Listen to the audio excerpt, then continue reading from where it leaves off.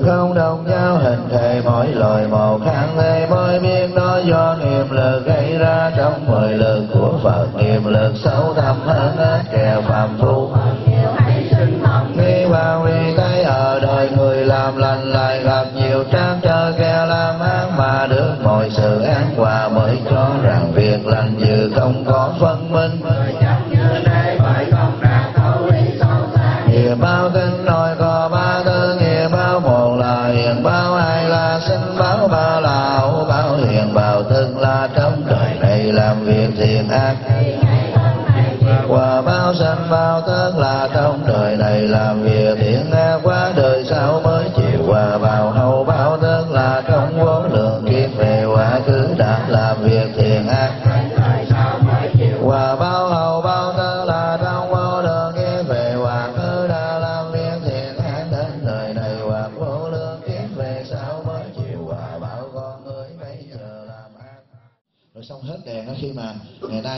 cái đợt nào họ thỉnh về thiếu bao nhiêu con cái bộ thuốc lên. Con lấy như giống như bộ thuốc nước vậy đó nha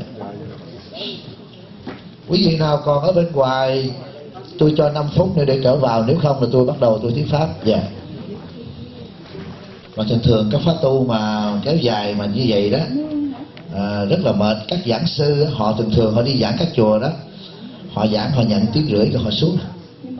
Quý vị để ý coi các thầy một tiếng rưỡi là họ xuống họ không tụng kinh họ không phải điều hành hết là tôi là phải lo từ nhà bếp, nhà ăn, nhà đấy rồi đủ thứ là tôi vừa tụng kinh, là tôi vừa quy y, thành ra tôi là coi như là từ A tới Z, thành ra rất là là là mệt. Cái gì thầy nói không? Rồi à, mấy thầy đó họ họ giảng nhiều lắm một thời. Họ đi một cái phái đoàn, chẳng hạn như hòa thượng như điển, đi phái đoàn là 10 giảng sư.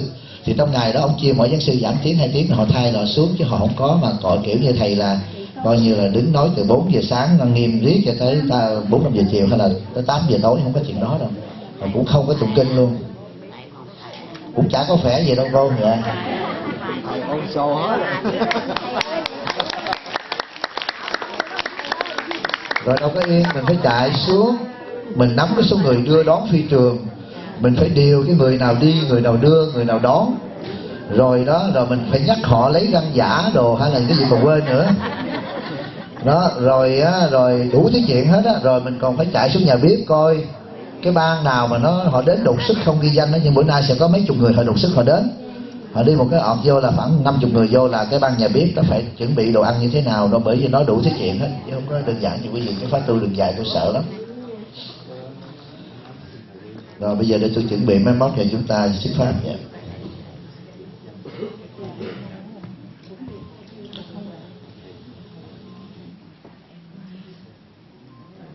Mời à, tất cả đại chúng à, chắp tay để niệm danh hiệu Đức Bổn Sư à, trước khi ta bắt đầu cái buổi pháp thoại ngày thứ ba tại cái pháp tu trai đàn Dược Sư được tổ chức tại làng A Di Đà thuộc hệ thống tầm quyền mà gọi là Conroe, Texas. Và nó một nằm một cái vùng phụ cận của tiểu bang Texas cách thành phố Houston khoảng hơn một tiếng lái xe.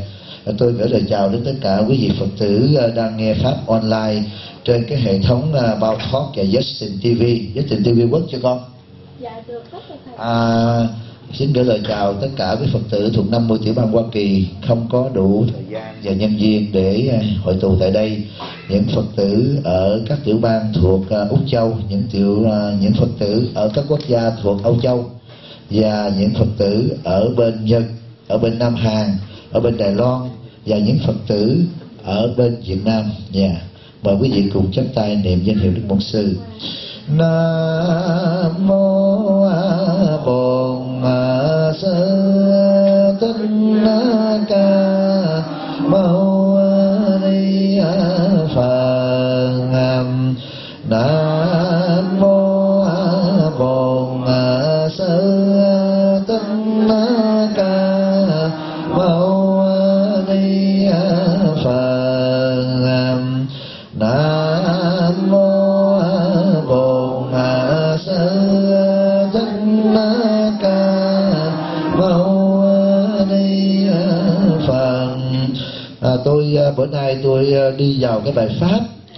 một số phật tử hỏi tại sao mà à, kinh dược sư thầy chỉ giảng có sơ sơ mà thầy giảng về những cái à, khía cạnh rộng tôi nói rõ.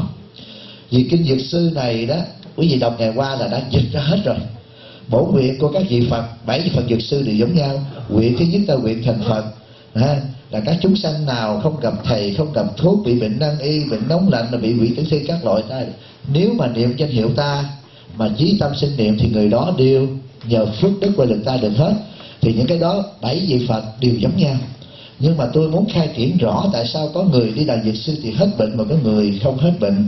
Cái bệnh ở đây nó có hai loại bệnh lận cái đầu tiên á, chẳng hạn như một cái người đó đem một đứa con lại mà họ thấy họ đau khổ, thì đầu tiên tôi phải giải thích vấn đề luật nhân quả. Như hồi qua cái đứa bé nó tru tréo lên giống như một con chó con, thì tôi hỏi à đậu hũ đã có ăn thịt chó không? Họ nói dụ nó giờ hồi trẻ có ăn. Thì tôi nói, đây là cái hiện báo, có phước đó nó hiện ra. Thành ra mình giải thích từ cho giải tỏa cái tâm bệnh trước rồi, mới đi giải tới cái thân bệnh. Rồi những cái nghi lễ hồi nãy quý vị thấy không? Khi chúng ta tụng kinh sám hối hồi nãy đó, là chúng ta thấy rõ, chúng ta đều dính vô kiếp này hoặc kiếp quá khứ. Chúng ta đều có. Thì bữa nay để tôi trả lời cái đầu tiên mà cho quý vị thấy, một cái vị phật tử đó họ hỏi là con mua một ngôi nhà. Thì người mỹ họ đã có tượng phật mà tượng phật của họ ở đây họ cũng phải thờ kính mà họ bỏ ở ngoài làm lên kép in quý vị biết không? Và ở đó người mỹ này họ để là một tượng bổn sư ở dưới gốc cây làm lên kép một tượng quan âm và tượng tam thánh và họ làm vô hòn đông bộ.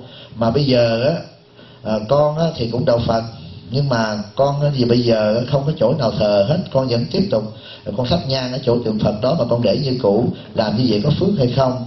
Thì hồi nãy quý vị đã đọc kinh quý vị thấy rõ rồi hả? Quý vị thấy rõ cái đoạn mà các các cái ngài mà đã, đã chọn ra cái bộ kinh đó cái ngài đã quở rồi. Quý vị thấy rõ tôi lần tôi khai triển.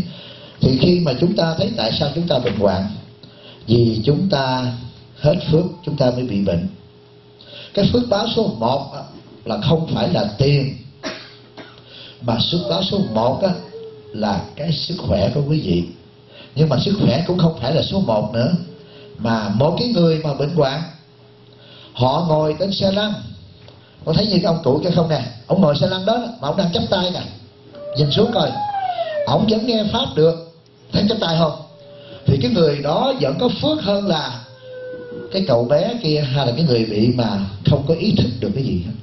Thấy rõ không? Như vậy là chúng ta phân loại phước báo. Số một là trí huệ, tức là sự mà sáng suốt. Một cái người nằm trên giường bệnh chết hết cả nửa thân người, nhưng mà tai vẫn còn nghe được tiếng giảng kinh, miệng vẫn còn niệm phật được. Nghĩa là ý vẫn còn biết niệm phật là có phước hướng về đức phật a di đà người đó vẫn được giảng sanh.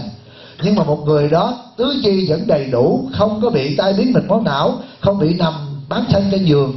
Nhưng mà người đó đi đứng được hết. Nhưng mà người đó không biết đâu là phật, không biết cha, không biết mẹ, không biết phải quấy gì kêu là tâm thần á. Người đó đến tôi, người đó vẫn là thua cái người mà nằm liệt vì không có cơ may để mà giảng sanh, quý vị đồng ý không? Thì như vậy cái đầu tiên là trí huệ, tức là sự sáng suốt.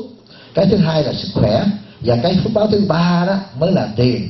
Và lâu nay đó, chúng ta có một lần hao tài đó, nhất là những vị mà ở những năm sau tháng bạch cái đô la hầu bị hao tài tốn của, thì nói là con năm nay sao mà hao tốn, hao tài tốn của con vô phước? Mà thật là quý vị đang có phước. Vì cái đó là nó đi trước.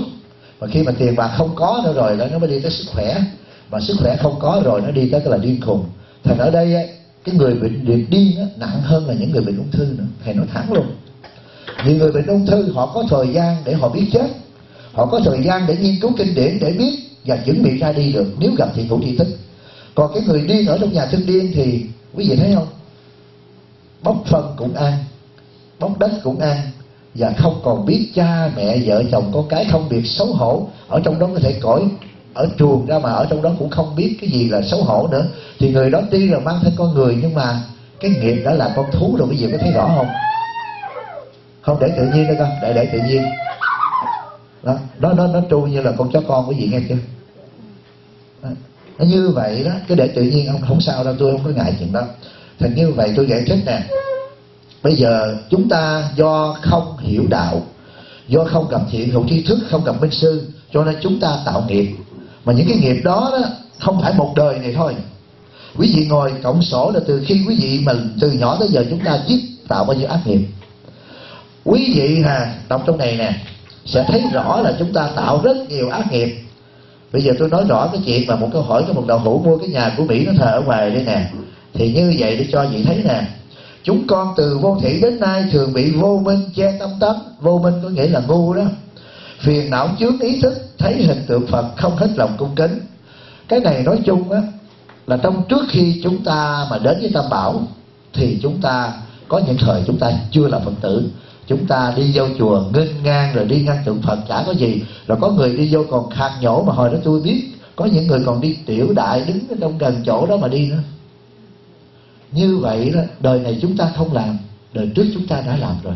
Tại sao tôi dám nói như vậy? Nếu mà quý vị đã tu hành đàng hoàng mấy đời trước thì giờ này thầy trò chúng ta chả có ngồi ở cái cõi ta bà này đâu. Đúng không quý vị? Mà những ta ở đây là những người tạo nghiệp thành ra chúng ta có thân nhân bị bệnh. Cho thấy rằng chúng ta đã tạo nghiệp hầu như trong kinh tỷ sám này đều nói. Thấy hình tượng phật không cúi đầu hết lòng cung kính rồi lại khinh miệt chúng ta. À, chúng ta mà những người chưa hiểu đạo và thấy thì chúng ta lại có cái tâm khinh. Quý vị có quyền không theo ông thầy đó, khi quý vị thấy ông thầy đó không làm đúng lời Phật dạy, nhưng mà quý vị phải phải sao quý vị? Phải kính cái áo của ông Phật, cái tướng đầu tròn áo vuông của ông Phật. Vì tôi nói cho quý vị nghe, trong các loài hoa mà hoa u đàm dù nó có héo đi nữa, nó vẫn vẫn hơn những loài hoa ở thế gian. Quý vị nhìn kỹ coi, cái ông thầy đó ổng có bậy bạ gì nữa, nhưng mà ổng là vẫn là cái hoa héo thôi trong các loài hoa cái hoa u đàm nó có héo nó vẫn còn hơn.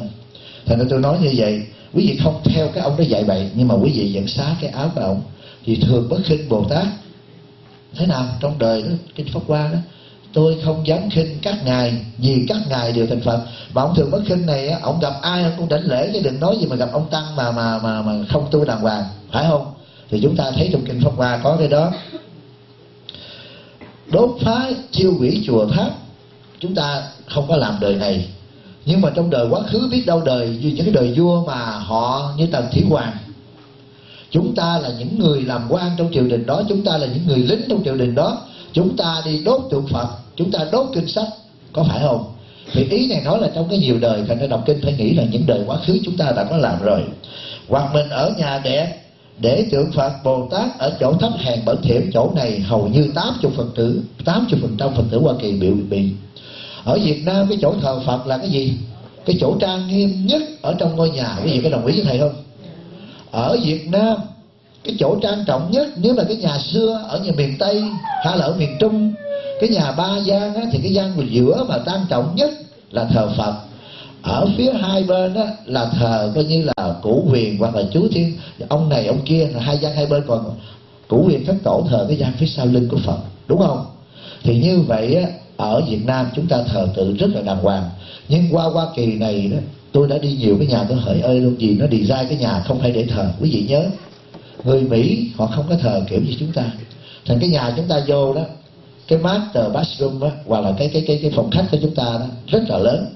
Rồi chúng ta lại không có để cái tượng Phật ở đó mà chúng ta kiếm cái góc cái corner nhau để Phật vô rồi nhiều người còn tệ hơn nữa, tôi sửa trợ trên cái cầu tiêu dưới này tượng Phật tại vì cái đường ống cầu nó đi trên đó, quý vị không có thấy.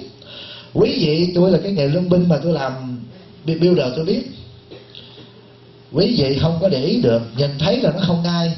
Nhưng mà khi mà tôi làm á, từ cái nhà cầu nó có cái ống cống. Rồi cái ống cống đó đó, nhà cầu nó nằm đằng kia. Nhưng mà dưới đây là cái ống cống cầu nó đi ra cái xác tịch thì cái đường ông phật ngồi ở đây nè cái ống cầu nó đi từ cái xí linh nó đi ngang đầu ông phật rồi tất cả những cái gì á, đồ dơ của mình bỏ từ cầu tiêu ra là lết cái là nó đi qua đầu ông phật hết rồi. Thì họ thấy hết à.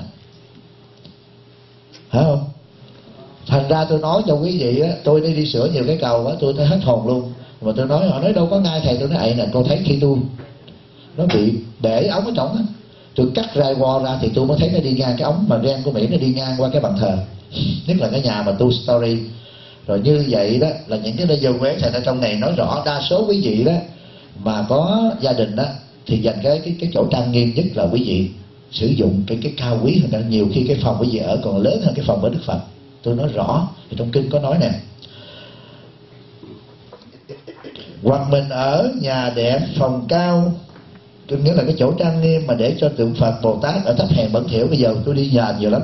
Tụi Mỹ bây giờ nó để những ông Phật ở ngoài cái cái len kép bên ở ngoài hè đó rồi mưa nó văng lên là đóng riêu đóng rong. Rồi đi qua đứng ở trên rồi con nít rồi khi nó đứng nó chơi, rồi nó tạt đồ dơ đủ cái chuyện trên đó. Cái đó là cái mà mình biết. Thì mà mình vẫn để như vậy là tối kỵ. Tôi nói cho quý vị nghe. Khói hùng đắng táp, gió thổi mưa chan bụi đất dính đầy, chim chuột đụng khoét. Hoặc thờ chung ở trong phòng ngủ, cái này cũng có.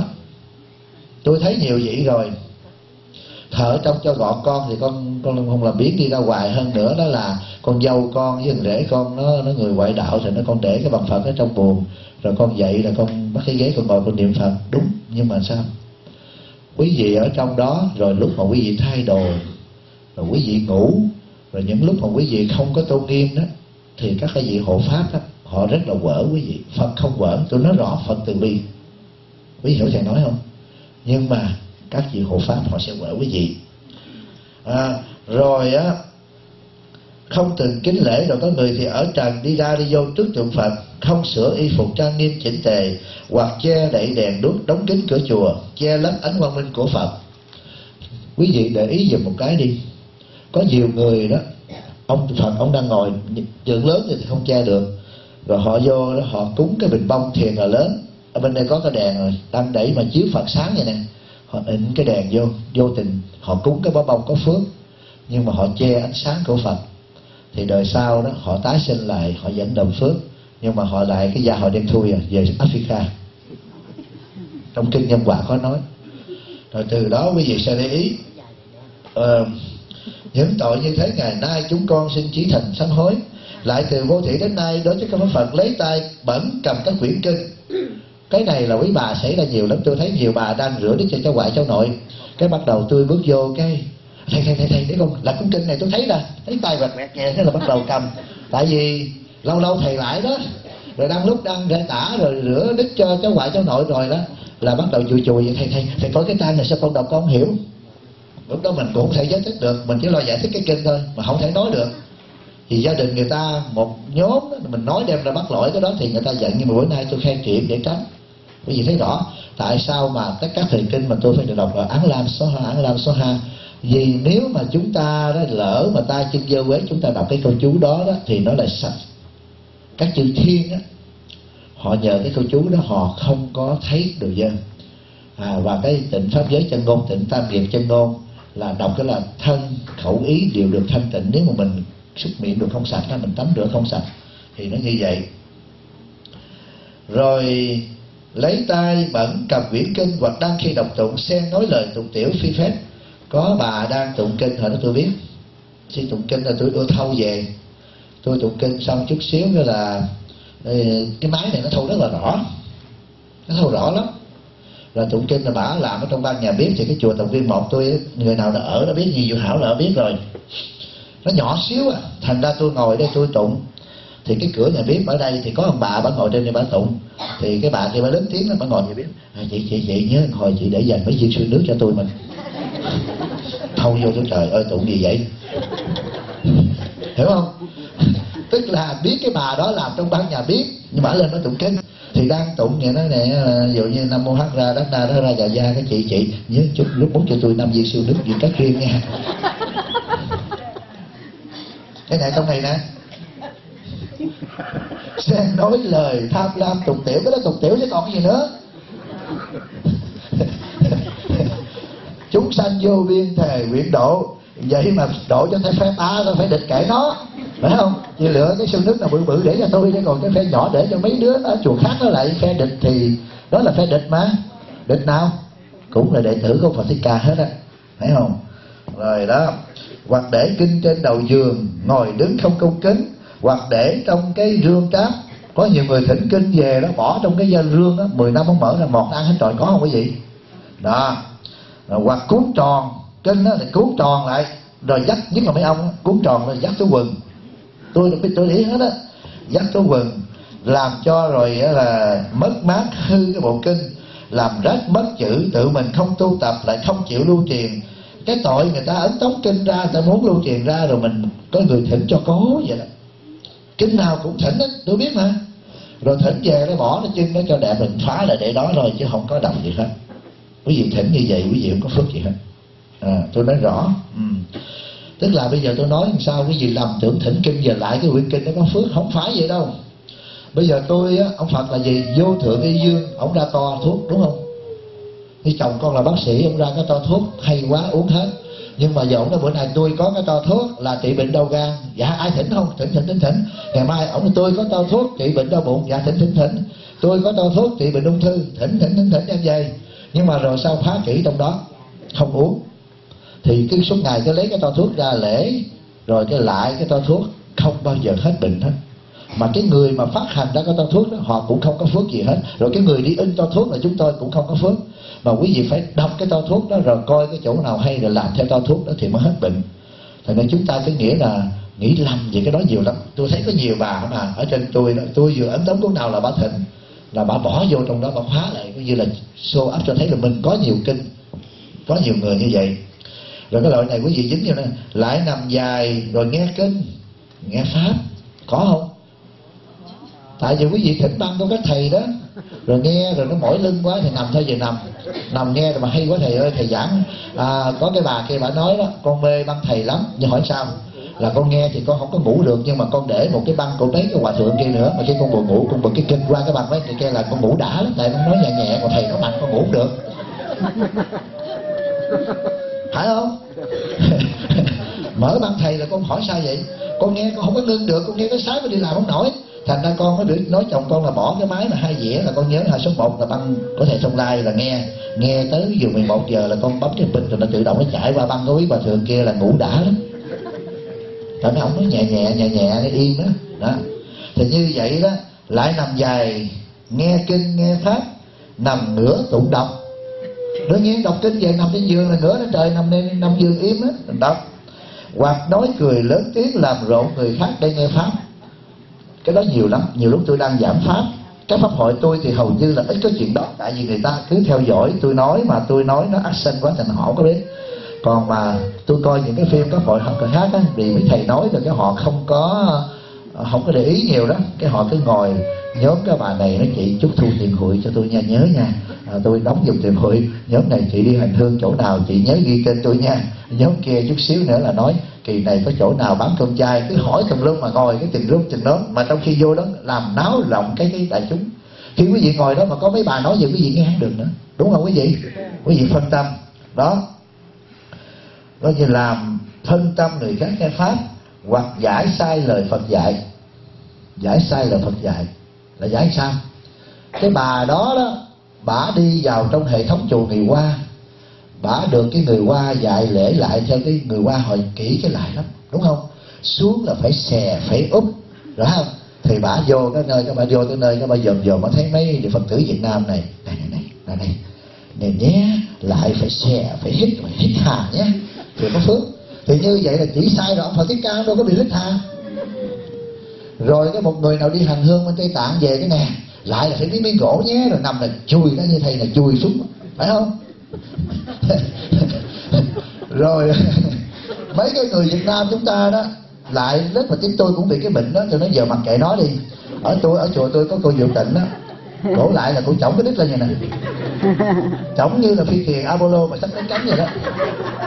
Người tàu đó, họ lại đó là hai cái mông phải sát với hai cái gót. Nhớ nha. Lễ người tàu họ lại đó, họ lễ đó là họ phải là sao? Khi họ đứng đàng hoàng là họ hết mình nha. Chín chục độ còn việt nam mình. Có không? Vô thấy cái là giải sai lời phật giải phật đâu có biểu. Phật không có biểu. Tại vì người ấn độ đó khi gặp phật là sao? Trạch áo bài giai hữu. Là sao? Mà người tàu đó mà tại vì cái phong tục người ấn độ là cái thời đó đó khi mà lại phật đó, là phải lột y áo ở trần ra để mà lại phật tức là sao phong tục người ấn độ, nó tôi với ông khác nhau, chỉ có cái bộ đồ thôi. Ở trong này tôi với ông giống nhau. Hiểu chưa? Để tỏ sự kính trọng. Thành ông vô mà ông vô gặp phật, vô ba tư nặc nghĩa là trạch áo bài giai hữu rồi lại. Còn mà mình, người tàu đó mà mình vô tới nơi mà mình bài như vậy, tức là mất vô lễ. Người tàu hay người việt mình cũng vậy mà đang mặc quần xà lõn đang ở tầng mà thấy khách vô là quảng hồn đóng cửa, kêu vợ con, phan phan, để tôi thay đồ mặc đồ. Thành ra hai cái phong tục nó khác nhau. Thành ra nhiều bà để giải thích sai lời phật dạy. Rồi có bà đó thì đi hành hương qua ấn độ. Nói, chị ơi, chị, hỏi sao vậy? Kỳ này tôi niệm phật hay lắm, hỏi sao vậy? Tôi qua bên bồ đề đạo tràng tôi ngồi tôi niệm á, một một ngày là là bằng ở bên đây tôi niệm một tháng luôn. Rồi sao tôi đi ờ, chỗ tứ động tâm là tôi niệm này kia, đúng và có đó có thứ định tâm. Nhưng mà bà diễn sai là bà nói là phật biểu là phải qua đó là mới niệm phật linh không phải như vậy đâu. Hả? Thành ra từ đó, đó là giải sai ý của phật cái kinh. Rồi đua nhau mà coi như đi theo sai những cái đó. Rồi có người thì tụng mình quen tụng a di đà phật mà thấy người qua. Rồi qua nó niệm a di đà phật không có linh tức là, là giải sai lời phật dạy. Đúng không quý vị? Rồi như vậy đó mình đó mà mà tụng theo người tàu á rồi cái mình tụng là nam mô quan sư diên phu sa. Rồi vô à tụng quan bồ tát không có linh đâu. Phải không? Thành như vậy đó là mình giải sai cái lời phật. Nhớ rằng đức phật khi ngài thuyết pháp ở Ấn Độ thời đó có 16 quốc gia nói 16 cái tiếng địa phương mà Ngài nói ra thì chúng sanh nào cũng hiểu hết. Vì Phật đã có được cái gì? Đạt nhất thiết chúng sanh ngôn ngữ Đà La Ni con chim con kiến nói gì Phật đều hiểu không gì chúng ta. Thành ra nhiều người đó gửi cái sớ đây nó sẽ sao thầy không đọc cho con tôi nói tôi sẽ đọc ngày cuối chứ bây giờ đọc mỗi ngày cái ngàn cái tên trong đó tôi đọc là mất thời giờ. Nhưng mà đức phật dược sư ngài đọc được không? Trời ơi trước khi còn đọc được phật cái phật giảng làm gì mà không đọc được? Thành ra cái đó là chúng ta phải dùng cái trí huệ. Đó giải sai lời phật. À, không phải chính pháp đó là chính pháp. Rõ ràng Phật không có biểu chúng ta phải giải kiểu nào, Phật không biểu chúng ta tụng tán. Một số người đi theo cái chùa các thầy người trung á các thầy người trung vô là tán tán tụng. Mà thầy người trung á, tán. Bây giờ tôi hỏi này, trong kinh này nè, mình á, đi đâu đây người nam mình mà cái cái chín mươi phần trăm là nam mô ta bà thế giới phải không? Bổn sư thích ca mâu ni phật nãy tụng nam mô sa bà thế giới, bản sư thích ca mâu ni phật. Ai đúng? Quý vị thấy nãy vô không? Tại tại sao, sau khi hỏi tôi cũng thắc mắc, có chỗ là trí tâm định lễ, có chỗ là nhất tâm định lễ, mà tôi là trí tâm là trí tâm, quý vị thấy rõ không? Rồi cái bà đó mà theo nhất tâm, không phải, cái này là nhất tâm mới đúng. Mày sai rồi, bà cái không phải, trí tâm mới đúng. Một bà nói là, sa bà đúng, một bà nói ta bà đúng. Một người nói, bổn sư đúng, người bản sư đúng. Cái nào đúng? Thật ra sau khi thầy hỏi một cái vị hòa thượng tôn túc đã qua đời thì ngài nói thế này. Nếu mà cái quyển kinh nó dịch vào cái đời đường á thì ông vô đường thường thường dịch kinh không phải hồi xưa đó mà muốn dịch là tự dịch đâu. Mà đời đường tam tạng pháp sư kumala thập vân chiếu dịch. Nhà vua ra cái chiếu chỉ mới dịch được à. Thành bữa đó ông vua ông ra cái chiếu chỉ ông dịch ra thì ông, ông này kumala thập ông định dịch. Ông dịch xong ông nhà vua có cái ban mà hình lễ bộ thượng thư họ mới dịch lại họ nghiên cứu. Không được. Ở trong này bà hoàng thái hậu á bả tên là bổn. Thì ông không được phải đổi là bản hiểu thầy nói không? Rồi á, qua tới đời nhà lý á, bắt đầu ông vua đăng ký chiếu dịch. Thì cái ông thầy dịch xong ông kêu nó không được. Đó là ông nội á, ông hoàng thái hậu á, là coi như là có tên chỉ ta, thì phải đặt là xa ví dụ kêu ông nói chạy ra. Hắn còn như chẳng như chỗ chỗ đó bữa, rồi dịch đến chỗ kêu là đạo trương thì ra ông bà hoàng thái hậu có cái tên là tràng phải nói là tràng tránh. Thành ra chúng ta tùy theo cái bản kinh nó dịch vào đời nào mà phạm quý đó phạm tới cái dòng họ tên tuổi của cha mẹ của mấy ông hoàng là coi như là bị chém á. Thành ra chị quý vị hiểu không? Thành ra cái đó phật không có biểu cái đó. À thành ra từ đó chúng ta không bao giờ nói là ai đúng ai sai. Mà phật chỉ biểu rằng làm sao mà đến chùa nghe pháp tu ngôn ngữ nước nào cũng được Bali cũng được nhưng mà tôi thấy rắc rối nhất là cái hệ thống Phật giáo Việt Nam chúng ta. Chúng ta coi cái hệ Bali đó, cái hệ nguyên thủy đó tụng tiếng Bali đó các sư Thái Lan, sư Campuchia, sư Miến Điện, sư Lào và sư ở Việt Nam mà cái vùng Sóc Trăng mà cái Trà Vinh rồi hay những cái vùng mà miên đó người Việt mà ở miền Nam họ tu đó, nguyên thủy, họ ăn mặn đó họ vô họ tụng giống nhau hết. Họ sử dụng một ngôn ngữ là Bali. Rồi á, bây giờ chùa của hòa thượng chuyên quá rồi đi đến cái chùa khác họ tụng giống nhau hết. Phải không? Tại vì họ có một sự thống nhất còn ở bên chúng ta đó, có thầy Việt Nam chúng ta đó, là không có cái đó. Có thầy thì nguyện thử diệu hương dân, có thầy thì tôi thử là nguyện đem lòng thành kính, có thầy thì giới hương định hương giữ vệ hương. Rồi có thầy, bởi vậy khi mà ông thầy xuống cái kinh tôi hả cái kinh sao tôi đọc vậy cho phật tử biết. Có nhiều thầy đưa phát kinh cái này mà, đệ tử như này mà, ông đọc trên đó tìm hoài không biết tăng nào, có không quý vị cái đó là cái mà tôi thấy rõ nó cái đạo Phật Việt Nam á, là thấy rõ có cái sự chia rẽ không không thống nhất trong đó. Quý vị bảo đảm á, nhiều vị hòa thượng vô kinh cái này phát cho phật tử mà ông trên ông ông ông ông nguyện sướng gì quý vị nhìn không thấy rõ. Còn thầy chủ trương, kinh đó để nguyện thử diệu hương dân là thầy đi nguyện thử diệu hương dân mà chỗ đó là để nguyện đem lòng thành kính là thầy nguyện lòng thành kính. Mà kinh lăng nghiêm chỗ đó là diệu tạm trọng tiền bất động tôn là thầy diệu tạm trọng tiền bất động tôn. Là thầy đi theo cái để cho tùy thường chúng sanh mà thầy, sau này thầy cắt bỏ cái tán đi. Tại vì cái tán đó, ví dụ như lư hương tán, phải không? A di đà tán, là chỉ có chúng tôi biết à. một cái câu đó là chúng tôi kéo ra cái sự mà phật tử họ không biết gì, mà nó mất thời gian quá đi. Thành ra tôi cắt hết. Là tôi, kinh của tôi là tụng, là phải hiểu. Cũng như quý vị đã tụng tụng tỷ sám nhưng mà tụng chưa được năm tra cái đứa lại cái nó nó mất cái phần tâm đi. Thành thì đọc một lọt cái thấy kể tội lỗi của mình, nó tội kể cho hết. Phải không? Quý vị đồng ý kiểu thầy không?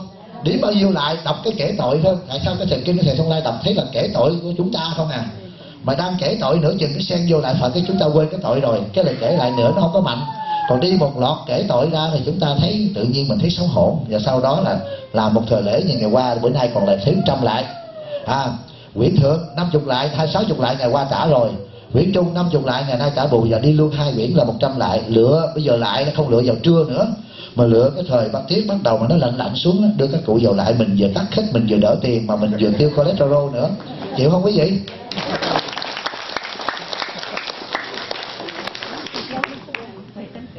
Tôi tính nữa thầy thì kỹ sư mà. Không phải kêu là trùng sò. Hỏi dịch đi. Bà bà thầy có ý kiến đâu tôi là nghiêu sò ốc hết luôn chẳng phải trùng sò luôn. Gì không con thấy có ờ, sư bà nói là phải lục từ tức là nam mô a di đà phật. Dạ. Rồi sang tới thầy thích chất nhàn chắc thầy cũng biết. Biết. nói là chỉ bốn chữ thôi a di đà phật là đủ rồi. Là phê rồi đó. Thì không thầy phải đâu. À, thầy thích nhàn nói bốn chữ là phê lắm rồi đó. Tôi nói cho quý vị nghe. Có một vị thầy nói nếu quy y đức phật thích ca thì không được giảng sanh. Phải quy y đức phật a di đà mới được giảng sanh. Phải tụng kinh mà tiếng tàu đó thì mới có có có công đức mà tụng tiếng việt không có, sai rồi, tôi nói rõ. Cái chữ nam mô đó, người tàu là tiếng phạn là nặng mồ nặng mồ là tiếng phạn, họ vẫn giữ nguyên là quy y rồi. Khi quý vị, nam mô a di đà phật là con xin nương về đức phật a di đà để cầu nguyện ngài cứu giấc con. Cái chữ nghĩa đó, nam mô bổn sư thích ca mâu ni phật là con nương theo đức phật thích ca để mà ngài mà chỉ cho con con đường giải thoát linh hồi sinh tử. Khi quý vị đọc chữ nam mô, có nghĩa là quý vị, con xin quy y, con nương về ngài để mà ngài tiếp dẫn con. Còn quý vị đọc mà a di đà phật á, là cũng như bây giờ nè, tôi kêu diệu khai nha. Tôi nói, diệu khai, đi xuống nấu cơm. Minh thiện đi đến mỏ, ông cười, đi nhảy đầm. Kiểu vậy đi thì tôi sai là phải biết có chuyện gì mà tôi cái ông cười ông cười ông cười ông cười ông cười ông cười ông cười ông cười. Ông đứng không biết tại sao tôi chửi hoài? Dụ khai dụ khai dụ khai dụ khai dụ khai dụ khai. Tức là cái đó là réo phật. Ví dụ thầy nói không? Tôi réo mà không không không. Ví dụ tôi đó tôi là một ông ông ông cười hồi đó còn là ông đại quý hải quân. Thì tôi phải nói là phải xin đại quý làm cái gì nó có rõ ràng. Còn kêu đại quý đại quý đại quý đại quý đại quý làm gì? Tao mày chửi tao à. Như vậy đó tụng sáu chữ thì nó có rõ ràng nghĩa hơn. Nhưng mà tại sao phải tụng bốn chữ? Khi mà cái người bệnh mà họ hấp hối rồi mình theo cái hơi họ, thì tụng bốn chữ để chi? Cái đầu tiên vô là phải niệm nam mô di đà phật cho đủ sáu, cho nó đủ ít nhất là 108 là đã quy y rồi. Sau đó chúng ta xuất khách lại còn là bốn chữ để cho cái hơi người ta không có bị mệt. Rồi cái cuối cùng là nếu người ta niệm không được nữa là chỉ còn mô phật thôi. Mô phật mô phật mô phật. Quý vị nhớ nha phải hiểu rõ cái đó. Thì chúng ta bây giờ tôi kêu mấy chị mà tôi cứ réo cả ngày mà không biết để làm cái gì. Hả? Nó thành ra ở trong cái đoạn mà chúng ta tụng kinh chú đại bi mà cái đoạn mà có năm chữ bài sai việt quý vị nhớ không? Biết, biết chữ gì không? Nama Tát Nama Nama bà già còn đúng Nama bà Tát Đa. Nó có chữ là đó tên của một vị Bồ Tát ở trong 42 thủ nhãn, tên một vị Bồ Tát mà họ hiện ra để mà hộ pháp. Nhưng mà hồi xưa đó, các tổ đó là dịch cái cái ông đó linh lắm. Cái ông đó mà đọc lên đó là linh kinh khủng lắm. Thành ra đời trần á, đời đường á, ông vua ông nói là linh quá. Thành ra ông nói là thôi, cắt bớt ba chữ cho bớt linh. Cắt bớt ba chữ cho bớt linh. Tại vì linh quá chừng luôn. Nghĩa là cầu cái gì được đó thì dân chúng nó thành ra cắt bớt thì nhà vua ra lệnh cắt bớt. Thành thành ra bây giờ nam mô quan thế âm bồ tát. Nhưng mà đúng nghĩa là nam mô đại từ, đại bi, cứu khổ, cứu nạn, linh cảm ứng, quan thế âm bồ tát. Nhưng mà sau khi chúng ta kêu cái người cắt mình nữa là nam mô đại bi quan thế âm bồ tát. Rồi có lần cắt bớt nữa là nam mô quan thế âm bồ tát. Rồi có khi là coi như là quan âm bồ tát. Phải không? Có người kêu quan âm bồ tát thôi. Thì chúng ta đừng có làm lại đó là nói tên tắt của một cái vị bồ tát thôi. Cũng như đời đường, nó có một cái chú mà cái chú này là quế tích kim cang. Chú này tụng là, là linh kinh khủng lắm. Không có cần vào đàn không cần mặt ngồi trong cầu tiêu tụng dẫn linh nữa. Cái chú này là quế tích kim cang. Mà sau đó ông vô đường ông thấy gì ông cắt bớt đi 13 chữ. Nó chú đó là uống bức quá hốt lớn mà ha bắt ra ngay nãy vẫn trong rảnh hay ma đi bị hình bị ma tham trước nào thăm một hết nước hồn hồn nó phát số ha cái chú đó này mỗi khi nào tôi giảng về mật tông đó tôi chỉ cho quý vị. Cái chú đó đó người phụ nữ bất tịnh vẫn tụng được kêu là quế tích kim cang một vị bồ tát đó. Ông phát nguyện là ông không có cần cái gì hết á. Bất tịnh bất cấu không cần vào đàn mà tụng cái chú này là cái gì cũng linh. Trừ tà từ ma bất cứ cái gì cũng được hết rồi. Kêu là quế tích kim cang là cái chú đó, đó đến linh đến nỗi người ta cắt bớt cho mười mấy chữ luôn. Tại linh sao? Cái ông nó bị tội phạm. Ông ra pháp tòa ông xử. Thì gia đình nó lên cầu với một cái vị đại sư mà thời là nhà đường. Ông ông đại sư cho con chú nó về đọc đi ra bắn bắn mũi tên, bắn vô nó buồn bắn mũi tên thì bắn hoài không được. Rồi chém cũng không được nữa. Thành ra là ông vua ông nó không được, như vậy là nếu mà cái chú này nó truyền nó lên về, cắt bớt 13 chữ luôn. Sau này thầy mới biết là thầy viên đức, là ông tu về mật tông đó, ông có nói thầy, rồi sau đó ông tìm ra được là 13 chữ trong cái bộ đó là sau này đó. Ông thầy không biết là sau cùng thầy đến gặp một thầy người qua thì chính thầy người qua nó cho thầy lần 13 chữ nên nữa, thầy mới đáp lại nhưng mà may mốt là cho quý con là quý con biết bài, quý con cầu kiểu nhân thị là chết. Chú đó cầu gì được đó của ngài quế tích kim cang, có chữ quế tích kim cang. Nhưng mà phải cắt vô đàn, cái này kia trình tự, mai mốt là thầy cũng phải cho cái gì biết về cái mật tông. Rồi như vậy là chúng ta thấy, bây giờ thầy trở lại cái vấn đề trả lời phật pháp về vấn đề ma. Tôi ưu tiên cho những phật tử mà có mặt ở hôm nay. À, qua có những câu hỏi mà một số phật tử họ đưa lên mà tôi ưu tiên cho những người hiện diện trong pháp hội hôm nay. Xin thầy khai thị cho con từ năm 16 tuổi con có rất nhiều niềm chim bao. Những chim bao này rất chính xác. Con chim bao những chuyện xảy ra trong tương lai của con trúng rồi. Nhưng mà con là chim bao cho những người bà con của con cũng trúng mà ngay cả con chim bao những cái điều xảy ra cho các vị tăng ni ở trong chùa cũng trúng luôn. Cho nên con hỏi một cái vị thầy đó thì vị thầy nói ở kiếp trước à, con đã tu theo tà đạo thành nên kiếp này á, con mới bị như vậy. Xin hỏi thầy có đúng không? Thật ra không có đúng gì hết. Mà cái vị này đời trước đã tu về thiền định đã chứng được thiên nhãn thông. Và vị này đã ở từ cái cõi trời đó rất là lâu thành ra khi bây giờ rớt xuống đây, cái khả năng thiên nhãn họ còn. Mà tại sao ban ngày không thấy? Khi ban ngày nghĩ tới tiền, tới chồng, tới con, tới đủ thứ những cái chuyện phiền não trên đời, do đó người đó không thấy được. Khi ban đêm ngủ lắng rồi đó, thì họ lại trở về dưới cái gì? Dưới cái mà ở cõi trời họ có. Thành không có tà đạo gì hết á. Cô đừng có sợ. Cái này là do cái chuyện mà tôi biết một cái người phật tử công giáo ở Arizona. Và ông nói là không biết tại sao trong gia đình ổng, đời ông già ổng, tới đời ổng, tới đời ổng. Nghĩa là chẳng hạn như ông vô ông ngồi trong pháp hội đó thì ông sẽ thấy được những người âm đứng xung quanh ông thấy rõ như ban ngày thấy luôn. Ừ. ở đây cũng như bên San Jose đây là có một người phật tử là vợ của thiền tôn. Cậu thấy hết. Cậu thấy đến nỗi cậu sợ luôn thành ra tôi nói cái đó là những người này đời trước đã có tu thiền, đã chứng được những cái quả vị thiền định đã có được thiên nhãn. Thành đời này khi xuống đây cái thiên nhãn nó vẫn còn. Nó thành ra cái chuyện nó không có gì mà lạ hết nha. Yeah. kính bạch thầy, trước kia con là phật tử, con đã thọ bồ tát giới, sau đó con xuất gia và không còn bố tát. Bố tát là không có tụng giới nữa đó. Nghe kỹ nha trước kia con là một phật tử tại gia, con đã thọ bồ tát giới tại gia. Sau đó con xuất gia và không còn bố tát tụng giới gì con phải theo lịch trong chùa. Như vậy con có bị mất giới bồ tát không? Giới bồ tát tại gia và giới bồ tát xuất gia có khác nhau không?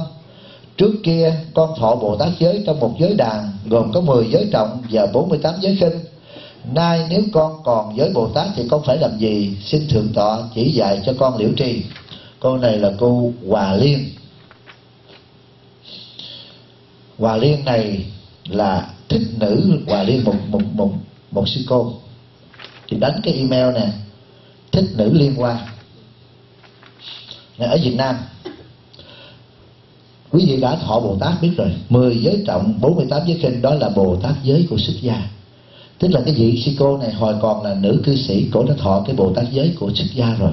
Rồi sau đó cổ vào chùa, cổ làm đi cô. Cổ lại không đi tụng giới, mà cổ lại nói là này bận rộn nè, cổ có mất giới không? Thật ra cái giới bồ tát mà đã thọ rồi đó, không bao giờ mất. Tôi, bây giờ tôi đã thọ bồ tát giới rồi. Tới ngày nào tôi ra đời, tôi không tu nữa. Tôi chỉ xả cái giới thì kheo thì kheo ni sa di của tôi tôi không xả giới bồ tát nhớ rõ với bồ tát không mất. Mà cô đã thọ khi cô còn cư sĩ. Tức là cô đã thọ bồ tát giới xuất gia rồi. Bây giờ, trong thời gian này cô không đi tụng giới vì cô ở chùa, thì đúng là sai. Ở chùa càng nên tụng giới, tại sao lại không lại không tụng giới? Thành ra tôi nói cô bây giờ đó, cô không mất giới, nhưng mà cô phải sám hối. Thường thường giờ cô xin thọ lại đơn giản lắm và cô phải tụng giới. Và cũng dễ. Chẳng hạn như bây giờ, cái sư cô tệ quyên cổ đi qua đây, cả tuần lễ cổ ở bên làng này mà cổ không đem y. Như vậy là cổ mất giới cho quý vị. Y bất ly thân. Có mất có mất giới đó. Nhưng mà thọ lại rất đơn giản. Cổ chỉ về trước bàn phật, cổ lại thời sám hối. Rồi cổ xin cổ đắp y lại, tại vì mất là do cái này nó là không không phải là mất giới phạm mà vì cổ bỏ y bất ly thân, có hiểu thầy nói không? À, các vị tăng ni khi mình lỡ đi bất giới. Tôi có một lần tôi cũng bất giới. Bất giới là thế này. Tôi đi giảng pháp từ đây qua một tiểu bang khác. Nhưng mà nó có connection fly.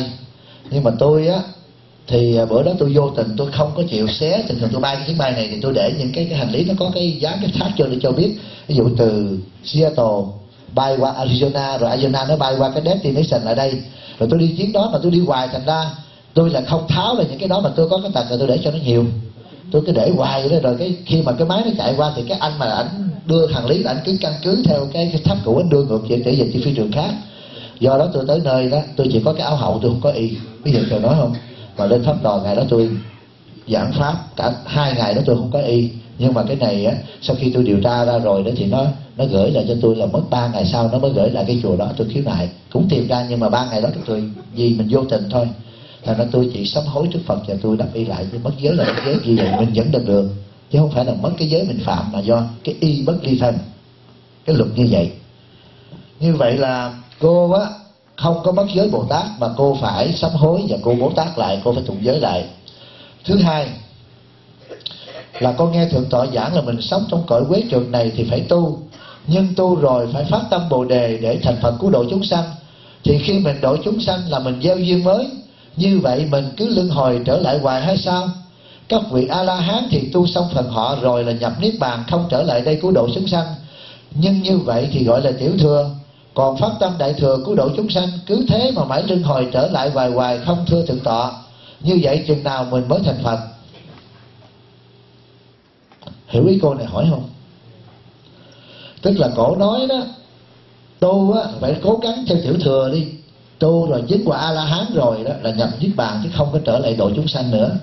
Còn mà kinh phật dạy đó, tu là phải trở lại cõi này. Như vậy là con tu mà con có bị luân hồi hoài, hả trở lại là còn là dân hiểm dân duyên thì bị ràng buộc trong ba cõi rồi, phải không? Như vậy là thầy chỉ sao hả, mà con không theo cái đường đó thì kêu con là tiểu thừa bị phật quở. Mà con theo đại thừa thì đời đời con là bị luân hồi à con lên cực lạc rồi. Rồi con phải phát nguyện trở lại cõi này. Phải không? Ý câu hỏi là như vậy phải không? Quý vị có ai trả lời được không?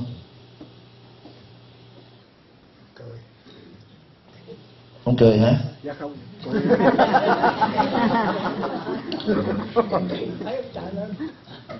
Thích hỏi cái gì vậy? Nói với người đi vậy kìa dạ ai mà đưa tay thì con đưa cái máy. Ồ vậy hả? Ai đưa tay thì đưa cái máy?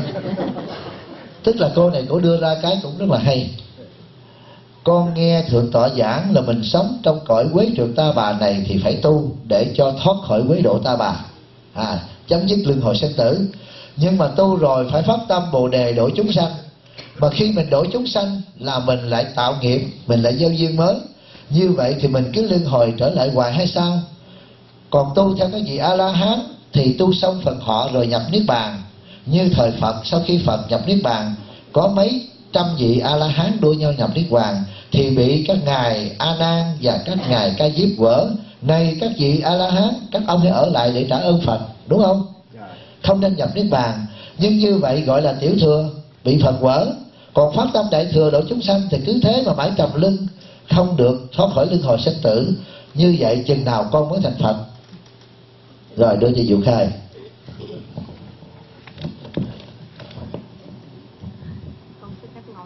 con ngồi đi con ngồi trả lời Nam mô Bổn sư Thích Ca Mâu Ni Phật.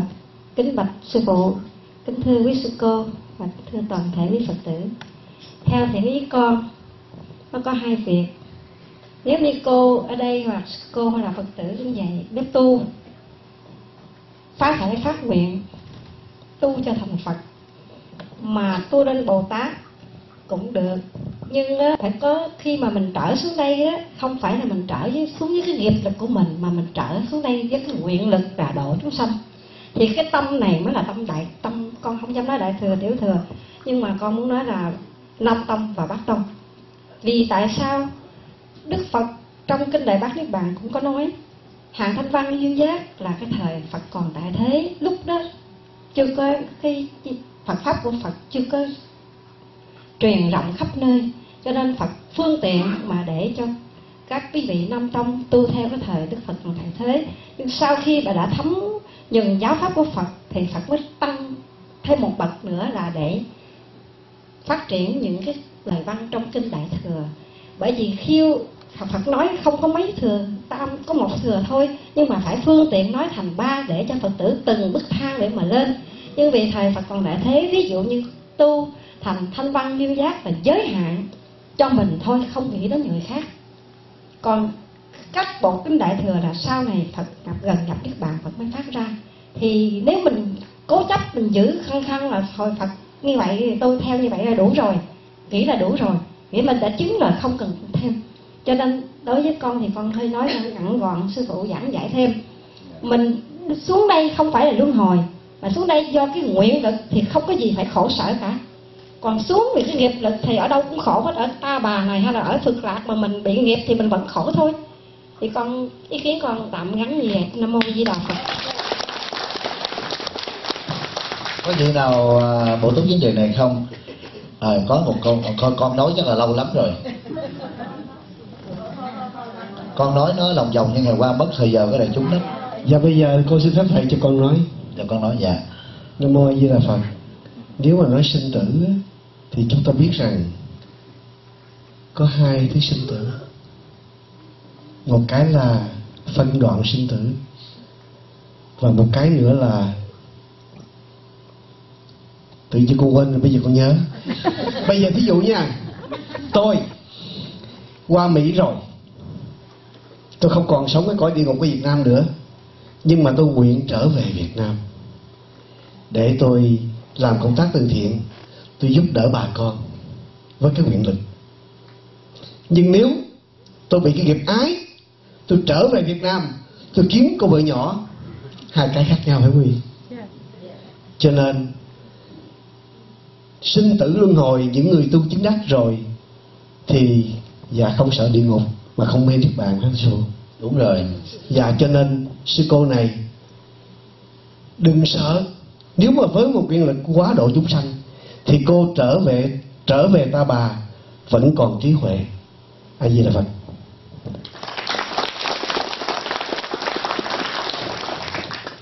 Cái vấn đề tôi muốn mổ xẻ đây là thế này.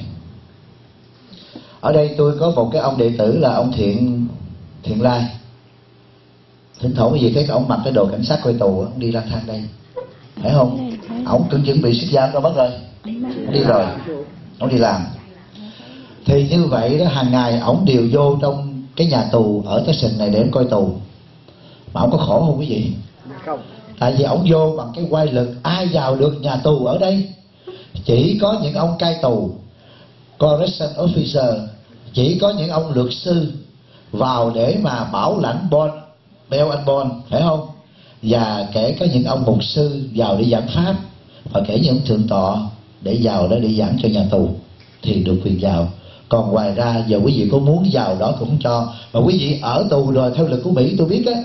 Tôi có một người phật tử, ông ở tù mười mấy năm.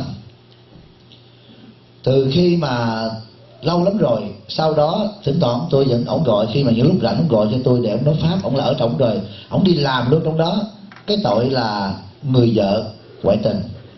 Ổng về ổng bắt gặp và ổng bóp cổ người vợ chết. Nhưng mà cái đó là do cái cơn ghen mà ổng bóp bóp cổ chết luôn thành tình địch luôn. Sau khi đó ông vào tù và nó xử ông 25 năm. Nhưng mà do có hành kiểm tốt và ông ở trong tù ông học ông lấy bằng cấp này bằng cái kia. Ở tù nó cho học nha quý vị.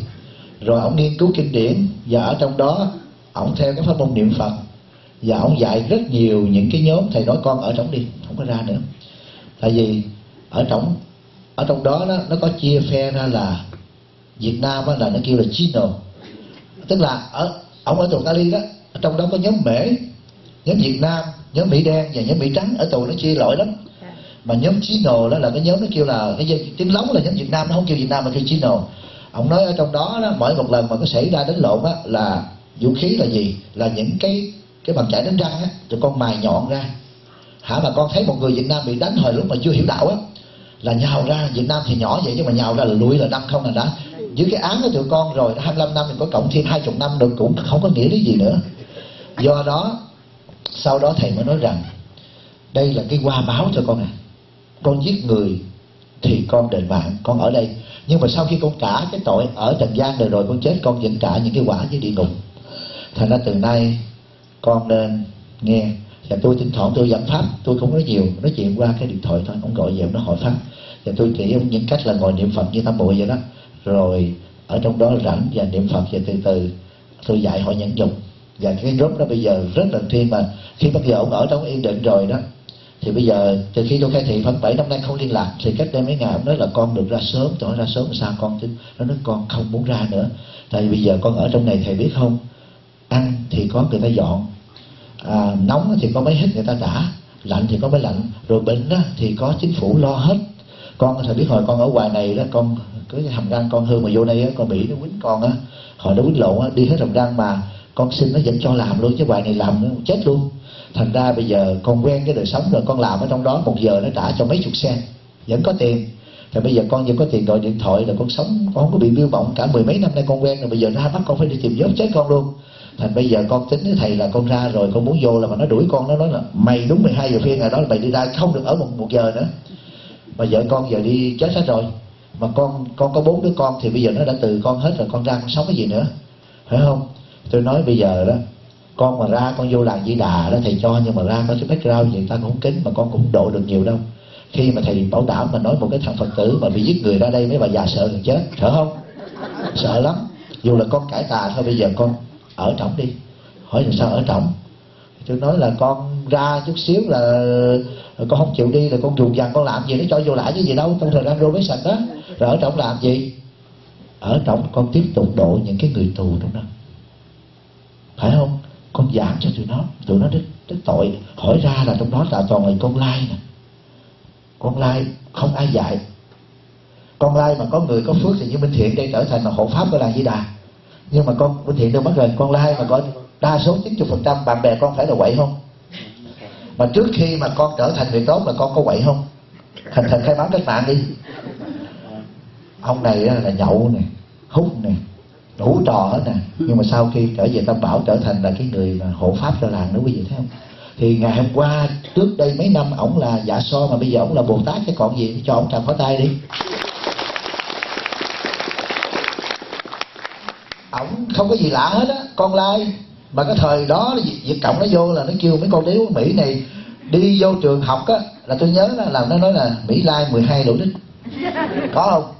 Đi đâu á mà nó đánh cái đó là nhào ra nó xử là mấy ông thầy ông thầy giáo cũng đã xử cái đứa mỹ lai bị nặng hết.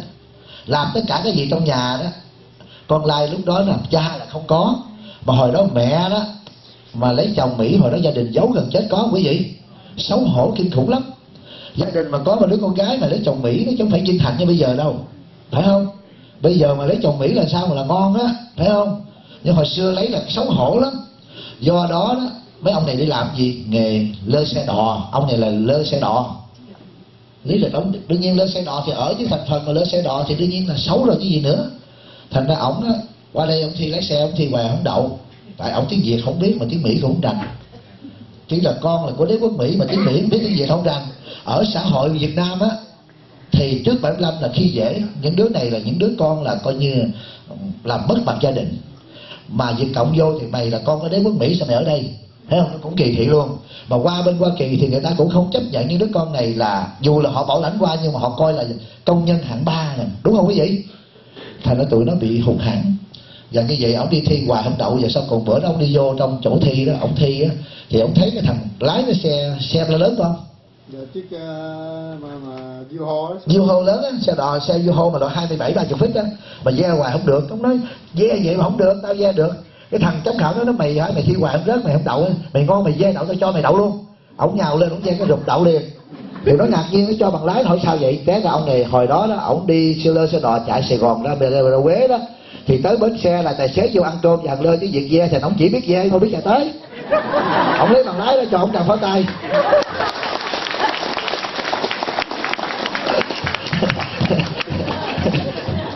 cái người, tại vì lơ đó, là lên, ông nó đi lái về đó, là tài xế nó vô nó ăn cơm. Thì con có nhiệm vụ là ve cái xe đò. Phải không? Xe đò liên hiệp, xe đò nam thành, xe đò trung bắc gì đó. Thì le vô cái đó, thì con ve cái bụp tình con ve hoài. Qua thấy mỹ ve hoài không đậu. Con đứng con nói dễ mà, thằng kia nó ghét mày ngon, mày ve đậu tao cho mày. Mày lái hoài cái xe nhỏ nên mày còn không lấy được.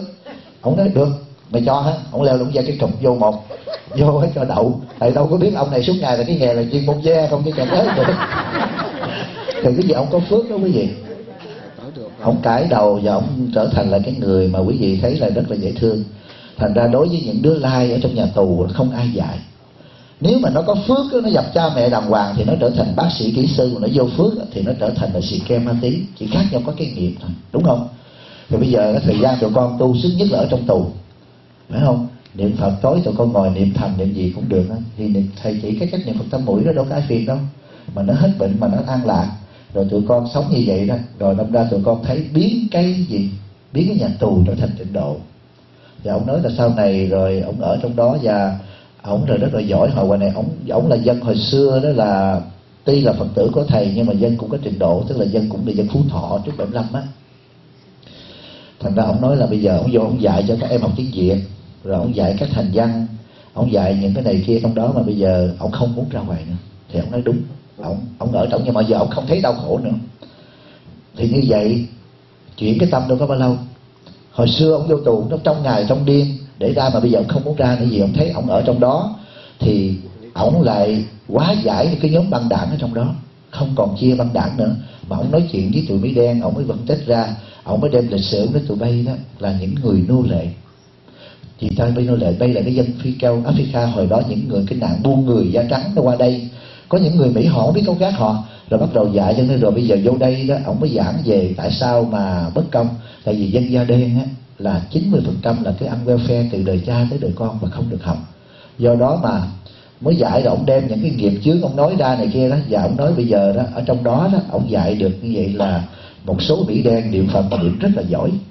À, thành ra là bể cũng vậy nữa thầy ông nói bây giờ tôi nói con không nên ra. Thầy đúng ra thầy phải khuyên nó ra nhưng mà thầy nói dễ lắm trong thời gian nó ra con không có nhà cửa thì con nó probation để biểu công trình viện á. Mỗi ngày phải gọi đó.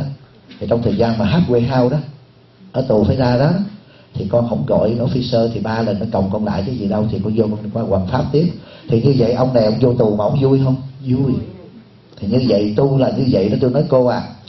Cái điều kiện mà thầy muốn nói con nghe rằng cái ông này đó sau khi mà ông chỉ chỉ dùng cái pháp phật thôi thì ông biến quế độ thành ra tịnh độ rồi. Hồi xưa chưa hiểu đạo thì ông ông giỏi ông lập băng đảng với nhau đánh với nhau để mà hơn thua để mà đàn anh đàn ca tại vì trong đó nó có đại ca nó có đầy đầy đủ cả đại bàng ở trong đó hết. Nhưng mà bây giờ ông lại dùng cái chức đại bàng ông để mà ông đưa người ta đến với trong Phật pháp. Thì ông đó là Bồ Tát chứ còn cái gì nữa hả? Từ một cái thằng tù giết vợ với con mà trở thành Bồ Tát rồi phải không mà chẳng những ổng là Bồ Tát mà còn giúp cho những cái thằng mà tội phạm nó trở thành ra là Phật tử chân chánh nữa.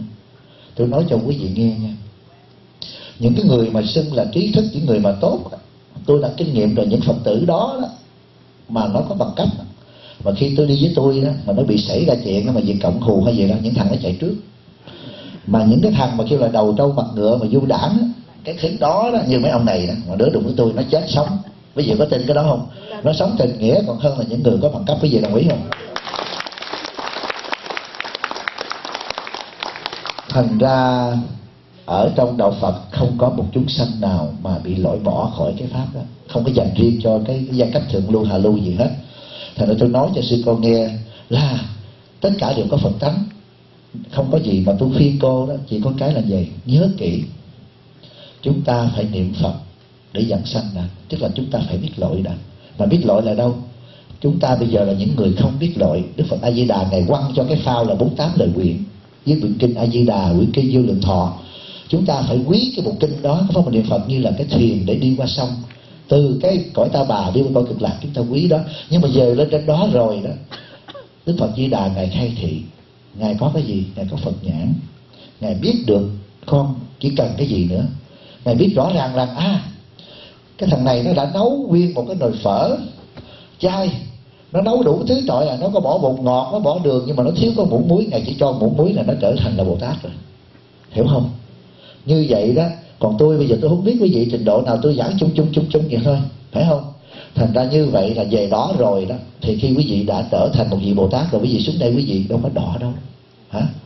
Quý vị xuống đây là xuống kiểu gì quyền lực như nãy cô diệu khai nói. Phải không? Thành ra như vậy đó đức phật thích ca ngài xuống đây bao nhiêu lần? Nhiều lần lắm. Trong kinh pháp hoa đã nói. Nhưng mà cõi của ta ngài xá lợi phất á nhớ không? Một bữa đó ngài xá lợi phất ngài nói nghe kinh giảng đó ngài, ngài nói là quế độ là, là phật độ là do cái công đức tu hành của đức phật mà ra. Và ngài nghĩ chúng ta có lẽ thổ thích ca là hồi tu hành chắc bê bối làm sao giờ ông làm cái giáo chủ của cái cõi gì đâu mà đất đá rồi gò nóng rồi chúng sanh rồi tham sân si. Cái lúc đó Phật thích ca nói này sao được Phật cõi ta đẹp không thua gì quốc độ cực lạc. Nhưng vì cái nghiệp chúng sanh mới thấy cái cõi này xấu. Bây giờ tôi nói cho quý vị nghe. Bây giờ chúng ta vô đây, chúng ta enjoy cái cõi đẹp, cái cảnh đẹp của làng A Di Đà có phải không? Nhưng mà bây giờ chúng ta thỉnh thoảng thấy có mấy con heo rừng bữa trước đó. con heo rừng đó. Nếu mà nói có cái cảnh ở đây là đẹp, nó không biết gì đẹp hết, mà nó chỉ thấy là những cái đống rác mà phật tử ăn mà đồ ăn thô đổ ra, thì nó nói sao sinh cái cõi gì mà thúi mà hôi không vậy? Phải không? Hả? Thấy rõ không? Chỉ ở trong một chung, một cái cảnh ngũ thú đồng cư này mà cái nhìn khác nhau rồi. Thấy rõ chưa?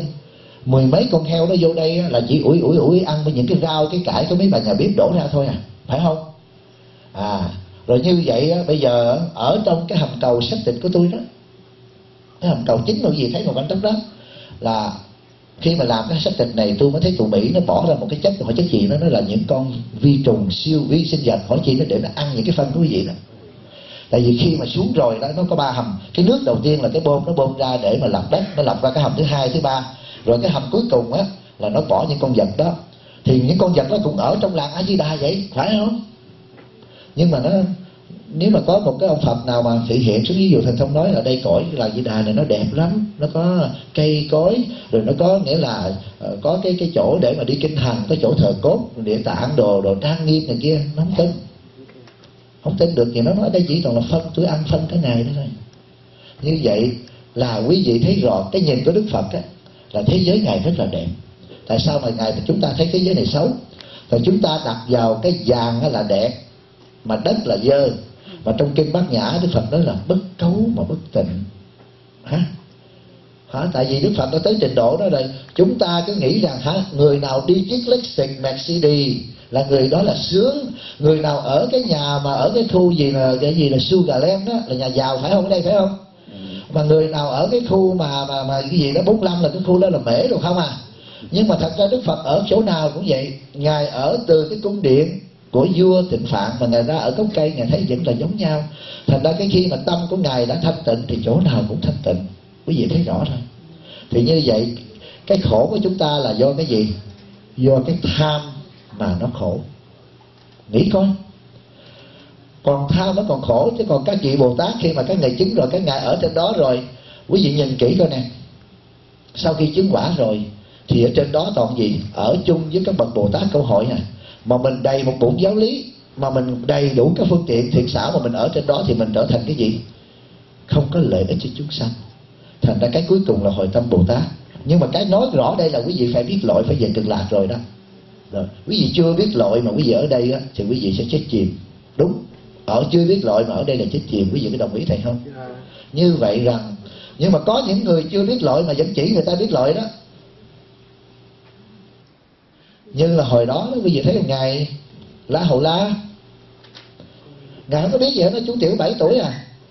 Đó, nhưng mà ngài đi dẫn pháp mà được vợ của ông cấp cô độc đó là quán phật. Tại vì bao nhiêu cái gia tài một ngàn lượng vàng hay là hàng triệu lượng vàng đem ra lót mua cái miếng đất tịnh xá cúng cho ông phật thì thành ra quý vị có ông chồng mà lấy hết kho vàng ra mà cúng mua đất cúng cái gì có giận không? Giận chết đó bây giờ có vị nào mà chúng tôi mà mua đất mà ở vùng Hawaii mà mua hết cái đảo Hawaii đi rồi bỏ bằng mấy mấy trăm triệu đô la, quý vị giận chết thì đâu thích nhưng mà ổng có cái duyên mẹ con.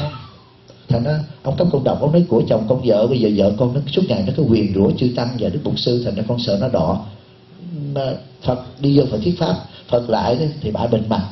Rồi phật nói bà bên tai, không có duyên độ. Sai một kiền liên, một kiền liên nó để con thì một kiện liên là hỏi niệm phật không không niệm. Ngài dùng thần thông cho cái nhà quay vòng vòng vòng ba chống mặt. Dạ ngưng ngưng ngưng, con niệm. Ngưng lại bà nó không niệm. Thấy không? Rồi cái ngày một kiện liên dùng thần thông á, bà bịt mắt, ngài dùng mỗi cái tay đều có tượng phật hết. Bà nói, với người ta, ông một kiện liên dùng cái tà thực để mà nhắc tôi, chỗ nào cũng có tượng phật hết. Rồi sai hết 1250 vị a la hán không ông nào độ được. Cuối cùng là cái ngày la hầu la lại độ tại sao? Vì cái nhân duyên bữa đó la hầu la đi xin ăn với ngài khất thực với ngài xá lợi phất. Quý vị nhớ, đức phật không truyền giới cho con vì tránh cái sự là ý lại. Phải không? Mà giao cho ngài xá lợi phất làm cái hòa thượng, coi như là truyền giới sa di, là coi như la hầu la là đệ tử của xá lợi phất. Mà ông xá lợi phất này ổng là một công tử bà la môn đi tu ổng đâu có con đâu. Mấy ông thầy mà không có con thì sao? Không có biết nuôi con lộn xộn chứ còn mấy người cỡ như ông cười mà vô đây trời ơi nuôi nó sa di thoải mái lắm phải không? Phải không? Cỡ như mấy cười mà vô là coi như bảo đảm là lo coi như đầy đủ. Nhưng mà sao? Rồi đi ăn thì bắt đầu phật tử mà cái lượng cái binh hồi xưa phật á, cái người mà đi khất thực á, ông lớn thì được nhận nhiều. Bây giờ quý vị vô cúng á, tôi biết đầu tiên quý vị kiếm cúng tôi chứ không cúng mấy chú này đâu. Đúng không? Thì cũng vậy. Mà cái thời đó cũng vậy tại vì nghĩ nghĩ là mấy ông lớn thì có phước còn mấy ông nhỏ. Thì đi bữa đó mà lực của phật không có cúng tiền mà cúng đồ ăn. Mà cúng chỉ được có bảy nhà thôi nha. Hồi xưa đó lực phật là đi nhà thứ nhất. Không có. Nhà thứ hai không có. Nhà thứ ba thì không cúng miếng cơm. Nhà thứ tư tới nhà thứ bảy không có là múc nước uống nha. Không có được xin của nhà thứ tám nha. Thì bữa đó xin bảy nhà đó thì ngày sáng là phật đi trước. Ông à, la hầu la đi sau. Thì à, rốt cuộc á, là ngài xá lợi phất á, được một bát cà ri rất là ngon rồi cơm rồi gạo rồi tất cả đồ ngon gì đó là đều để cho ngài xá lợi phất. Còn ổng người ta cho con củ khoai nhỏ xíu thôi à, củ ba lan. Rồi tới giờ khi mà lạnh xong là ra cái gốc cây trở về với mọi người để thọ trai ăn mà ăn bóc. Ông ăn xong thì ông tức quá ông ngồi ông thấy ông thầy thì cũng cầm ông cười thì ông còn sớt ba miếng rồi tao biết là con mà ông này cũng đâu có có vợ có con đâu. Hồi xưa giờ lớn lên là coi như cái ông đó giống như ông từ vậy đó ông từ nhà mình vậy đó. lớn lên là tôi tôi biết tôi là vô sự mà. Kệ nó mặc kệ nó phải không? Đói no mặc kệ nó. Tại vì ông quán là gì? Ngày sáng là phất đời là không. Vô tướng vô tác thì làm gì có cái tướng đói tướng no phải không? Nhớ ngày sáng là phất không? Khi mà phật giảng kinh pháp ra ông nói con là cái hàng tăng lớn tuổi. Con ngồi trong pháp hội nghe uh, nghe thế tôn giảng là phải làm hạnh bồ tát tu phải xuống tay quá độ. Con nghĩ khổ lắm không thích. Không vô tướng vô tác không là không có gì hết vô tướng là những cái tướng giàu tướng đẹp tướng tu tướng tu là không có. Mà vô tác là cũng không có tạo tác nữa. Phải không? Thì ngồi thôi cái là ông này á ngày sáng là phất ông ăn xong thì bữa đó ăn xong về tới trịnh xá tự nhiên ông ói ra hết rồi. Ông ói đồ hết rồi cái ông nói ờ, bữa đó tới giờ đức phật thăng tọa thuyết pháp thì ông lên trễ cái phật nói này xá lợi phất ông là một cái người à, trưởng lão trong cái tăng đoàn sao mà bữa nay ông lên trễ. Ông nói dạ bữa nay con đi khất thực mà không biết sao cái bà tín nữ bên cúng bát sờ ri ngon mà con ăn xong về con ói hết. Thì lúc đó ngài Anna ngài mới nói con nghĩ là một vị a la hán không có ai mà mà làm cho trúng độc được hết. Không phải độc. Thì đức phật nói chả có trúng độc gì hết. Ông thầy ngồi ăn mà đệ tử nó ngồi nó rủa lầm bầm thì phải ói thôi. Phải không cái gì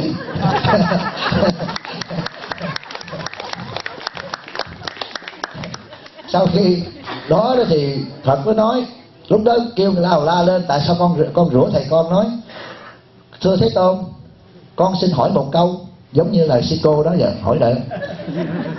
Một đứa nhỏ. Sư cô đây à sư cô đây.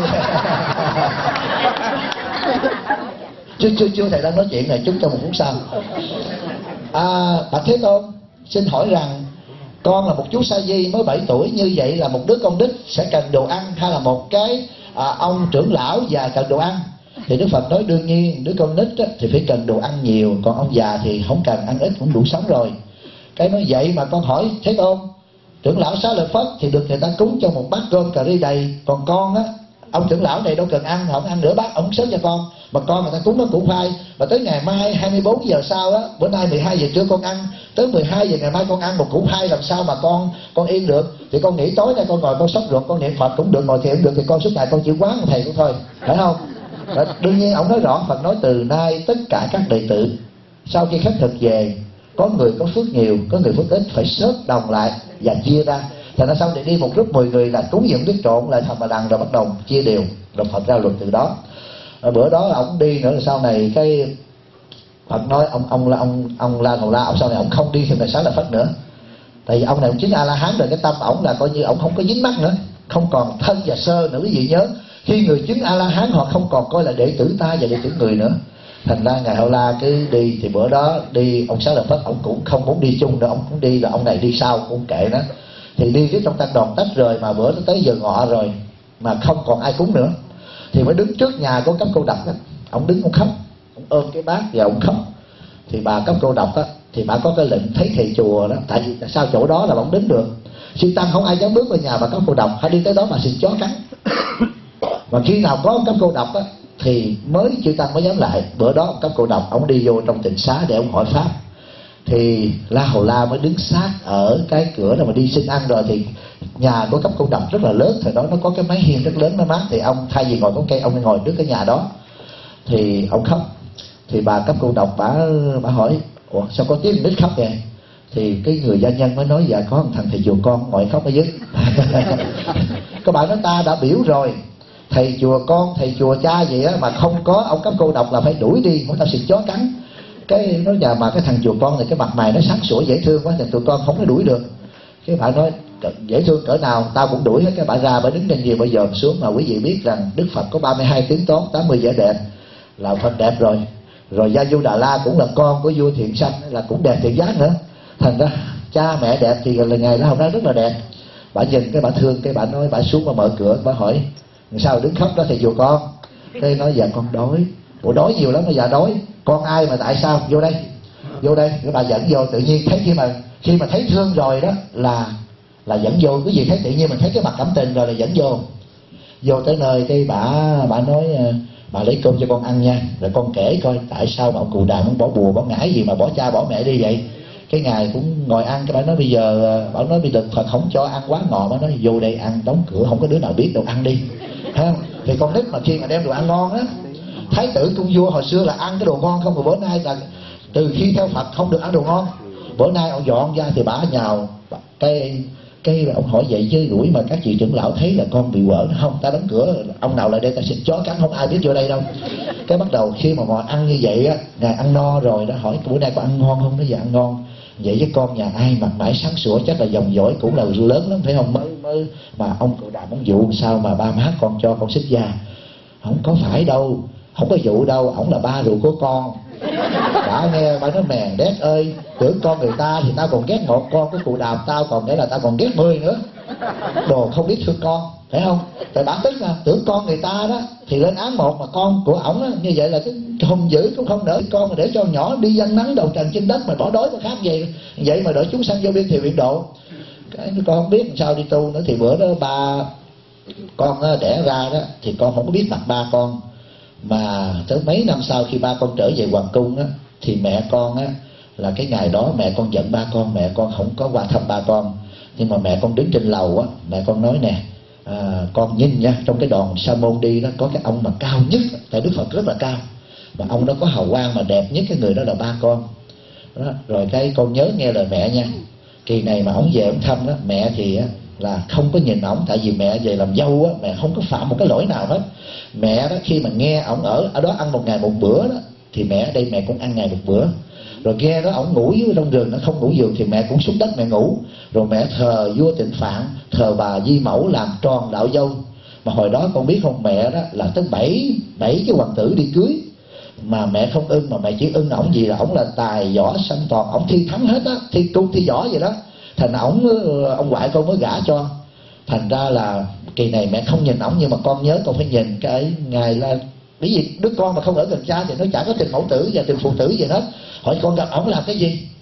Con gặp ổng kỳ này là con phải xin cái gia tài của ổng. Tại vì con biết rằng con á, phải xin ổng nhường lại cái ngôi này đi. Nếu mà không nhường á là biết đâu sẽ nhường cho nang đà nè nhường cho coi như là đề bà đạt đa nè nhường cho a nan. Thành ra xin là xin cái ngôi vua nhưng mà khi đó đó, ngài ngài la hầu la đứng đến 7 tuổi thì tôi có biết ngôi vua là cái gì, nhớ nha. Thì tới giờ đức phật đi vô tới cổng thành ca thì lao vệ thì trên này bạn nói con đi đi, con chạy ra đi, chạy liền đi. Thì cậu bé chạy lại thì đức phật lần đầu tiên về trong cung điện thì vô tình phạn cho người đón và kết quả rất là đông. Thì ông chạy thiệt lạ ra cái ông chụp tay phật. Cái ông đứng lại ông hỏi, ông ông có phải là ông phật không? Thì ông nói, ta như lai là phật à, con là ai thế vậy à, con là con của như lai cái đức phật nhìn xuống thì phật biết rồi. Vậy con đón ta là đầu tiên chạy chờ như lai vào trong chạy chạy đó. Mẹ con bắt con chạy đón như lai để xin cái gia tài. À xin chia cái gia tài. Cái đức phật nói à kêu ngài a nan lại. À, xin lỗi chưa có a nan ngài xá lợi phất. Lúc đó a nan còn là dương tôn công tử. Kêu ngài xá lợi phất lại này xá lợi phất đây la hầu la là con của như lai. Đúng nó có quyền xin gia tài thì bây giờ như lai có hai cái gia tài. Một cái gia tài là do ông nội, ông cố của la hầu la phải giết người, xông pha chiến trận, nhất tướng công thần giảm sát khô tức là khi mà vua tịnh phạn lên được ngôi vua là phải có hàng ngàn lính bị chết ở ngoài chiến trường. Và một cái gia tài là do mười phương chư phật để lại. Thì bây giờ la hầu la con muốn cái gia tài nào? Một cái gia tài mà con lên ngôi rồi đó, thì con ăn cũng không được yên mà ngủ cũng sợ người ta được ám sát mà ăn phải sợ người ta bỏ thuốc giống như thầy thông lai giờ vậy nè. Nhiều cái thù phải không? Thầy thông lai hồi đó còn ở trên núi không ai thù hết mà xuống đây tại vì có dây thù gây quán thành ra mà con không thể nào con còn tự do đi ra ngoài trên những cái thức voi để mà ngắm cái cảnh mà ở sinh hoạt với dân chúng. À, con ở đó con sẽ bị bây giờ con chưa lên nôi cha chưa trường gia tài thì các dương tôn công tử đều coi con như máu rượu nhưng mà khi mà cha nói rằng truyền cái ngôi này cho con thì các dương tôn công tử sẽ coi con kẻ thù và ngày đêm tìm cách giết con. Và kể cả những cái bà mà hoàng phi bà mà hoàng thái hậu những người mà không phải là người mẹ đẻ cho con đó và kể cả mẹ con la hầu la à, con và gia du đà la đều bị cái quả lây. Quý vị nhìn trong lịch sử các ông vua anh em có giết nhau không? Thì bây giờ hai là con muốn làm một cái gia tài mà con đi đâu người ta cũng kính nể mà con không có sợ mất một cái gì mà đi đâu con cũng được nghĩa là dân chúng thương mến. Thì nó hầu la nó sẽ con chọn cái kia cho nó khỏe phải không? Là chọn đi theo phật. Là từ đó là đã là ông đi xuất gia đó. Thì bà gia du đà la bà đứng trên này đó bà nghe nói như vậy thì cái ngự long quân về báo chết rồi. À, lệnh bà sai sao mà thấy tử ờ, xuống dưới này là xin cái gia tài mà đi theo ông phật để ôm cái bát mà đi xin ăn cái chết rồi.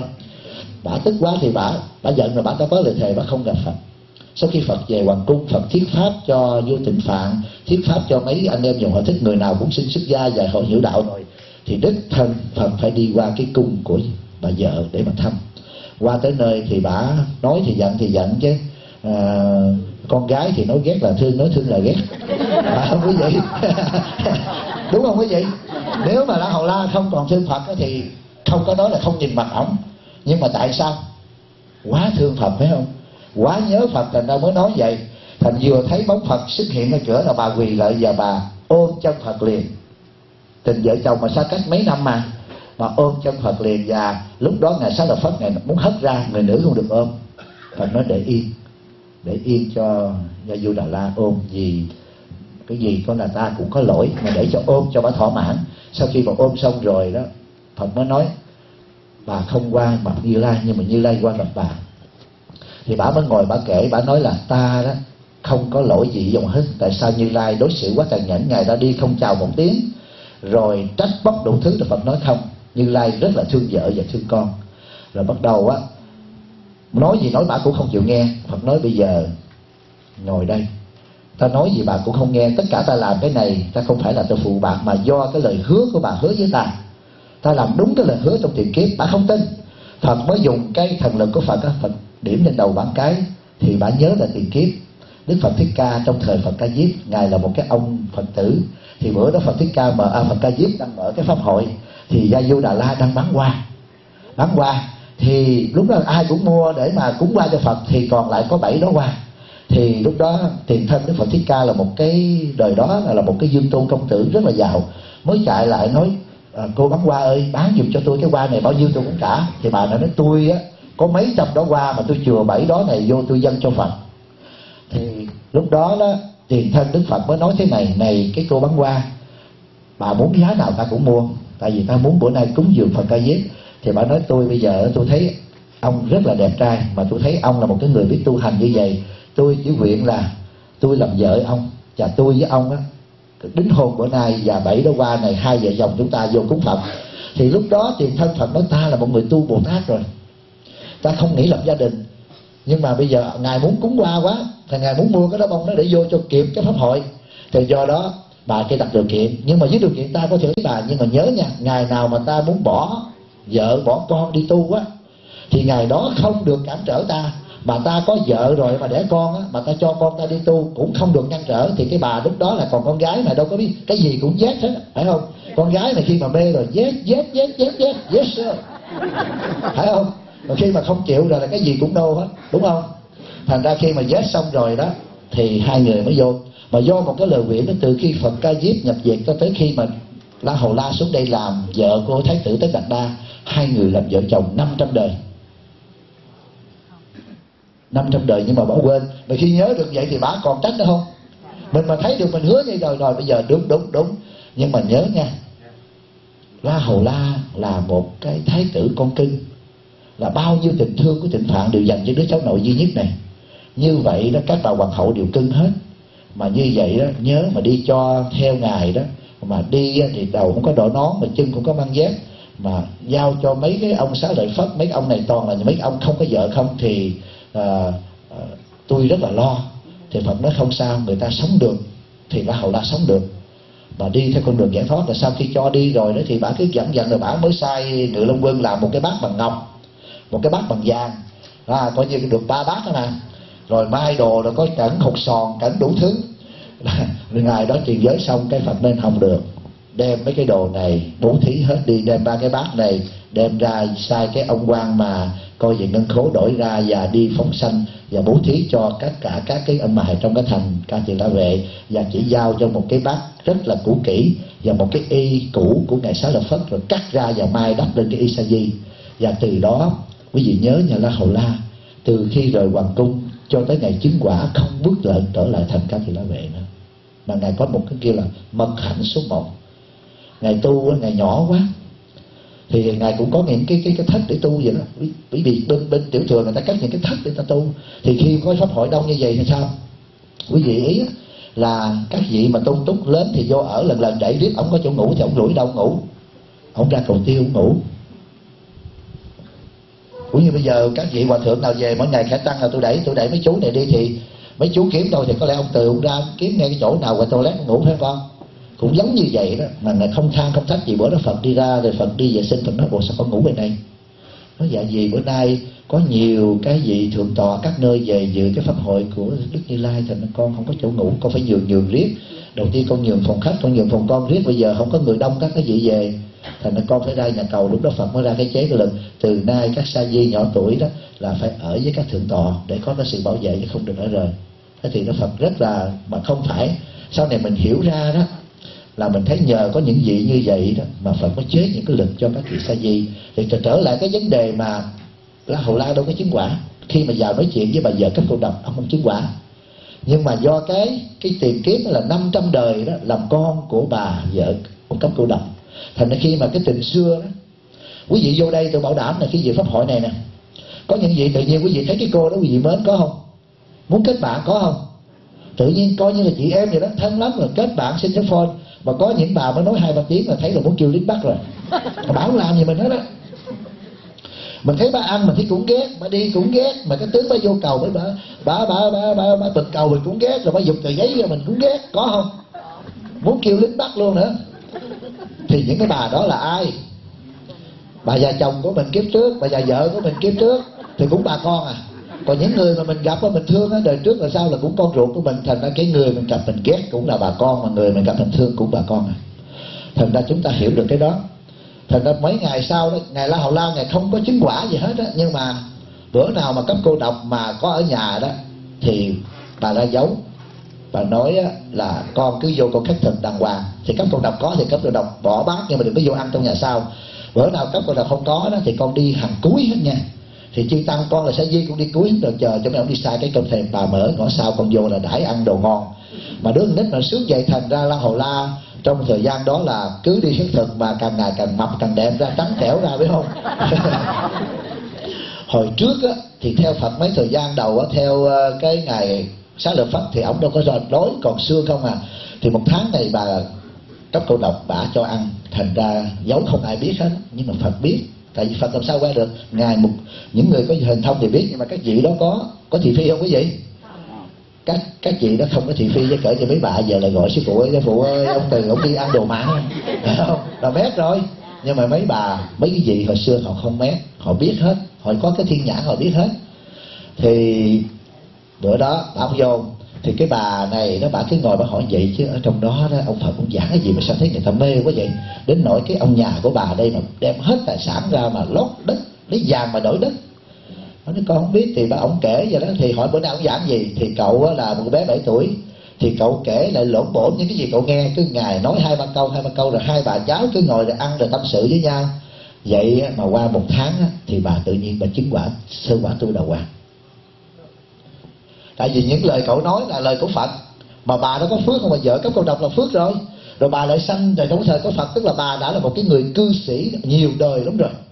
Nhưng mà vì bà có phước rồi bà quên những cái gì thấy không? Bà tái sanh là bà quên, bà cách ấm, bà chui vô bụng thai bà quên. Do nó nhắc lại cái đời tiền kiếp của bà. Và bà bữa đó tự nhiên là bà giác ngộ cái bà giúp mình liền. Khi chứng tôi đào hoàng rồi là cái người đó không còn vay tiền nữa thì bữa bà nói bây giờ đó nhờ con nói lộn bổ mà bà tự nhiên bà giác ngộ. Bà thấy là bà bậy quá lâu nay bà tạo cái tội là đánh chư tăng mà chữ phật nè ruột chó cắn nè nhờ con cứu bà ha. À, thì bà mới nói bây giờ đó con làm sao ngày mai đó bà không có dám nói với ông cấp cô độc nói ông, ông chồng chết từ lâu nay là mình chống tối đa mà giờ nói không được. Bây giờ con á, là cái người duy nhất có thể là con là con của phật nha. Con nhớ con đừng có nói cho tôn giả nào nghe hết nha. Tại vì bà nào á người nào á a nan bà cũng được chó cắn rồi sách đạo phật bà cũng được nè một kiền liên cũng được rồi. Thành ra bà đều gieo ân quán hết rồi làm sao bây giờ cái mình con á là cái người duy nhất bà không có gieo ân quán. Mà con là con ruột Phật làm ơn vô nói với Đức Phật nha. Nói ngày mai bà xin uh, cúng trai tăng với xin làm lễ quy y. Thì bữa đó ngày la hầu la ngày mới đi vô trong đại chúng đang đông thì đông cái bà. À, bữa đó không bà không có mặt ở đó nhưng mà có một các cô độc đó. Thì la hầu la mới đảnh lễ à, đức thế tôn con có cái à, một yêu cầu thì phật ngạc nhiên nó la hầu la hỏi đến giờ là chú tiểu không bao giờ mà đưa câu tay để hỏi. Hỏi con cái yêu cầu gì thắc mắc gì về phật pháp? Và bà cấp cô độc đó bà muốn xin quy y và cúng dường cây tăng ngày mai. Không biết là uh, như lai và các ta vị mà trưởng lão có nhận không? Thì nói câu đó đại chúng trớ mắt nhìn hết rồi. Cái ngài a ngày ngài nói ủa tại sao đức phật độ không được bả mà cả tăng đoàn đông toàn là a la hán độ không được bả mà bây giờ là hậu la phật nói chẳng có gì. là 500 đời người ta là mẹ con, thành ra cái tình xưa nó sống lại. Bởi vì đạo phật từ đó phật mới nói, này a nan đạo phật chỉ độ được người có duyên. Phải không? Tại vì quý vị mà đến nghe pháp, thầy quý vị đã từng là bà con cha mẹ đệ tử nhiều đời của thầy mới đến nghe pháp. Còn có những người đó mà họ không có duyên với thầy đó, họ nghe cách giảng của thầy đó là họ nói thầy này dữ quá. Có không? Quý vị mà thích rồi đưa, nghe tưởng ờ, ông này giảng dữ quá không nghe được, giảng nghe nhức đầu quá đó thành tôi nói cho quý vị nghe, phải có duyên mới độ được. Và rồi sau đó là bà đến, và ngày hôm sau bà đem tất cả là lễ nghi, lợi và bà cúng dường cho các cái tăng ngàn đó. Thành ra từ đó tôi nói, ngay cả cái người chưa biết lỗi vẫn có thể độ cho cái người khác biết lỗi. Đúng không? À thì bây giờ đã tới giờ rồi, tôi nhắc lại cái này không phải là các vị đã nghe rồi, nhưng mà cho những phật tử mới. Tại ở trong này có bốn vị phật tử catholic thành tôi mới đem cái chuyện đó tôi nói. À, bữa nay mấy vị catholic đưa ta thì coi sẽ quy y bác đó là một con là hai. Có mà qua được cái cô nào đấy đâu rồi? Ba nữa. Với cái ông tám vợ nữa. Ông đó có pháp danh rồi mà chưa quy y? Ủa quy rồi hả? Đúng rồi quy rồi. Vậy là đây trong này làm tôi á, thì có duyên độ thật ra những cái người mà catholic này mà họ đến với thầy đó trung tử họ cạnh bệnh lắm trong kinh phật nói một lần mà xâm vào nhà tà kiến, không dễ gì mà quay đầu vậy với nhà chánh pháp không quý vị. Cho thấy rằng những cái người này họ trùng tử, họ sâu dày lắm. Phải không quý vị? Quý vị sanh vô nhà phật pháp, đạo phật, quý theo đạo phật chuyện đó là thường. Họ sanh vô nhà nhà công giáo, mà họ đến với phật, thì những người này đối với nhìn của thầy là đời trước tu rất là nhiều. Phải không quý vị? Hả? thành ra là ở trong này đó là cô kim quanh này là có ông xã cổ đó là cũng là người công giáo là mà cái người đó bây giờ rất là thượng thành. Người phát hành băng dĩa ở trên vùng Albany với New York mấy cái vùng Western rồi là dài dài là ổng gửi đi đó. Thành ra là thầy có cái lạ là thầy độ người công giáo rất là nhiều. Bây giờ nếu mình làm cái sổ tổng cộng là cái người công giáo theo thầy gần cả trăm người đó. Ừ, thầy không biết tại sao thầy độ công giáo rất là nhiều. À, có lẽ là tại vì uh, thầy có duyên với mấy người công giáo. Mà con biết đó là có một cái gia đình là người bùa chu là bùi chu phát diệm đó mà họ vẫn theo thầy đó con thấy cái chỗ đó ngày đó thầy đi ăn vị thầy run gần chết luôn. Đây nè đứa nhỏ này nè. Tại vì tôi hỏi trước nha tôi nói mình hỏi con chuẩn bị đề máy nha vô mà rủ ông già ông già, ông già tại vì có mình cổ theo à. Ba má mà dắt cây là mình phải chạy cho kịp nha để thầy què dò thầy qua thầy giảng đây không được á. Con, con nói cổ thôi đừng có mời bố mẹ tới để có mình vui được rồi Nên chị bà đó bà dữ lắm. Bà dữ kinh khủng lắm á. Mà bà giờ bà hồi đầu đó mà bà, bà thờ phật ngồi thất khởi ơi luôn. Bà, bà, lựa cái góc xịt đẹp là phòng đông bộ quay mặt cho ông phật nhìn ra hoàng chữ kiếm cho ông phật enjoy rồi. Bây giờ tới giờ quý vị ở 12 giờ mấy rồi? Ông cười chứ nói cái gì? Sư phụ cho con xin một phút thôi. Nữa cô, cô chờ chút xíu. Thầy một số người họ về xin xả giới. Ồ vị nào đi về đưa tay lên. À, lấy đứng lên thấp. Người nào mà xả giới một ngày người nào ngày hôm nay sẽ về lấy nhang điếm người đi mỗi người một cây nhang cho thầy. Một hai ba bốn năm sáu bảy tám chín. Ba người nữa là 12 Tạc như vậy vô tay ai mà sẽ về ở trong ngày hôm nay không kể giờ? 14 Rồi em lấy 15 cây nhang thắp trên cười đi. Đóng. Dạ. Rồi đi thắp 16 cây nhang đi. Không không không cái hiện cái người nào hiện diện ở đây? Tôi xả giới về những người có mặt ở đây. Người nào hiện diện ở đây mà mà phải về đi rời pháp rời cái đạo tràng ngày hôm nay thì 16 người tôi đếm rồi đó. Còn có ai nãy giờ chưa đếm không? Dạ rồi. Quý vị đốt nhang ở đây đó à, chỉ cắm số lượng nhang nó chỉ cắm ba cây trên bàn bổn sư rồi còn lại đó là quý vị phân ra chia cho hộ pháp bằng tổ. Chia đều ra, nhất là mấy bàn hộ pháp bàn hộ giới đó. Dạ. dạ. Bây giờ quý vị nào á, sau khi xả giới xong mà quý vị chưa có thịt nước, thì liên lạc với tôi sau để có người mang nước tới cho quý vị. A di đà phật. À, để tôi hồi hướng trước đã tại vì tôi đang thuyết pháp online. Dạ, dạ. à, tôi mời tất cả các vị phật tử đang nghe pháp online à, cùng chắp tay lễ để hồi hướng. Chúng tôi tới cái giờ chúng tôi sắp thọ tay và xả giới cho một số phật tử. Họ sẽ có cái chuyến bay trong ngày hôm nay. Nhiều cái giờ khác nhau nhưng tôi sẽ xả giới cho họ. Riêng những phật tử mà à, vẫn còn giữ đây thì không cần xả giới.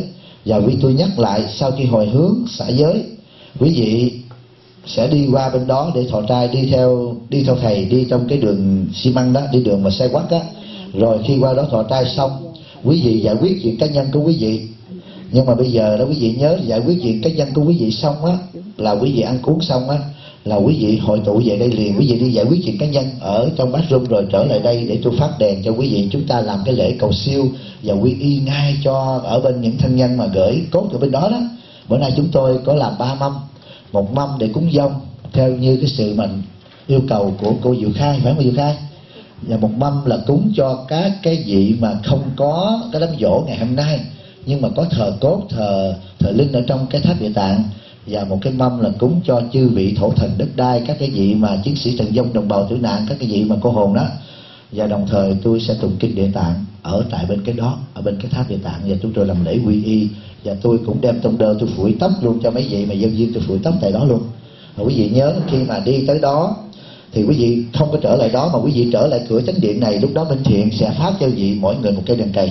Con nhớ không? Để đem qua và đem qua cúng cúng dường cho ngài địa tạng và hồi hướng cái công đức cúng đèn cho đức địa tạng để cho cha mẹ mình nếu mà không có siêu á, thì nhờ cái công đức này và tụng kinh địa tạng cũng như cái mâm cơm này là nguyện nhờ đức địa tạng dùng cái thần lực này mở cửa u minh để mà cho các vị nó lên đây để mà được tóc xả mê đồ để mà siêu về các cõi trời. Tôi không nói là cực lạc nha.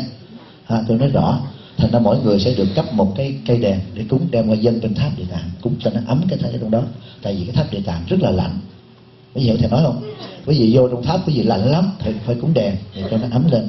Rồi con nói dạ thưa thầy khoảng 2 giờ kiểu giờ 12 rưỡi. Kịp kịp bây giờ tôi hồi hướng liền. Dạ. con tính nói gì? Thưa thầy, chờ khi nào thầy quy y? Tại vì có một Phật tử ở bên Việt Nam muốn lên quy y, xin thầy quy chút nữa theo dõi bao thoát đi tại vì à, qua bên kia không biết cái bao thoát tại vì thầy nói là qua tới nơi là thầy quy y liền. Bước vô đó là dọn cơm dọn đồ lên thầy quy y liền. Tại sao quy y cho người sống và quy y cho người chết luôn nữa?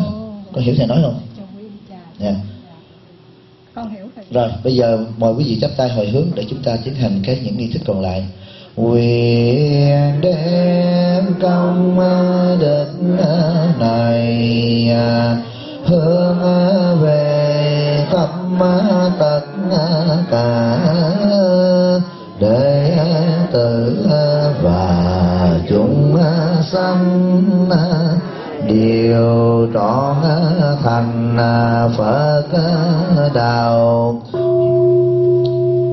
Mấy vị nào mà xả giới lên đứng lên, chạy lên trên này, đứng lên hàng đầu này nè. Quý vị còn, tất cả các vị không xả giới thì cứ đứng đứng lại hết tại chỗ. Dạ đứng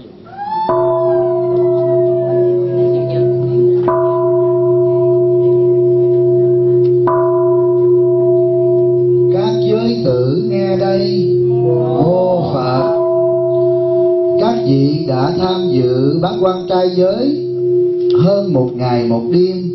Đúng ra trai đàn dược sư này phải tham dự ít nhất, theo kinh thất Phật dược sư là phải bảy ngày bảy đêm thọ bát quan trai giới. Nhưng vì gia duyên ràng buộc, vì cuộc sống bận rộn ở Hoa Kỳ, quý vị không có thể dành thời gian để mà tham dự trọn vẹn cái trai đàn dược sư và bát quan trai giới cho đúng như kinh Đức Phật để lại là bảy ngày do đó, con tỳ kheo thích thông lai, phương tiện ngưỡng cầu chư Phật từ bi gia bị cho các vị Phật tử này vì hoàn cảnh bất đắc dĩ cho nên phải lìa cái trai đàn không đúng như thời hạn mà Đức Bổn Sư đã dạy trong kinh. Nhưng xin chư Phật từ bi thương xót, gia bị cho các vị này đều hưởng được cái ân đức công đức giống như những vị đã tu trọn vẹn vì các vị này không có cái phương tiện, không có cái hoàn cảnh thuận tiện để tham dự đúng như lời Phật dạy trong kinh Thất Phật Dược Sư. Hôm nay, con xin đại diện cho Tam Bảo xả ba giới bát quan trai, căn bản và nửa giới bát quan trai, không dâm dục trở thành là giới không tà dâm.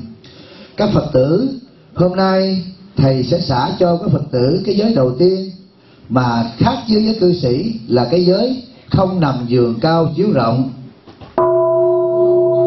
Thầy sẽ xả cái giới thứ hai là không ăn phi thời. Thầy sẽ xả cái giới thứ ba, không trang điểm và làm trò múa hát. Thầy sẽ xả cái giới không dâm dục trở thành là cái giới không tà dâm vì quý vị là những người cư sĩ. Rồi quý vị cấm nhang lên. Một vị đại diện thu nhang cấm cắm ở đây khoảng ba cây thôi con còn chia ra hộ pháp chia ra các bằng tổ. Chia đều ra. À, các vị xã giới xá bà xã. Dạ, cái gì sáng hoặc ba sáng Chia chút hộ pháp nữa. Rồi bây giờ Xong thì mời qua trái đường phải không? Câu hỏi của con để chiều đi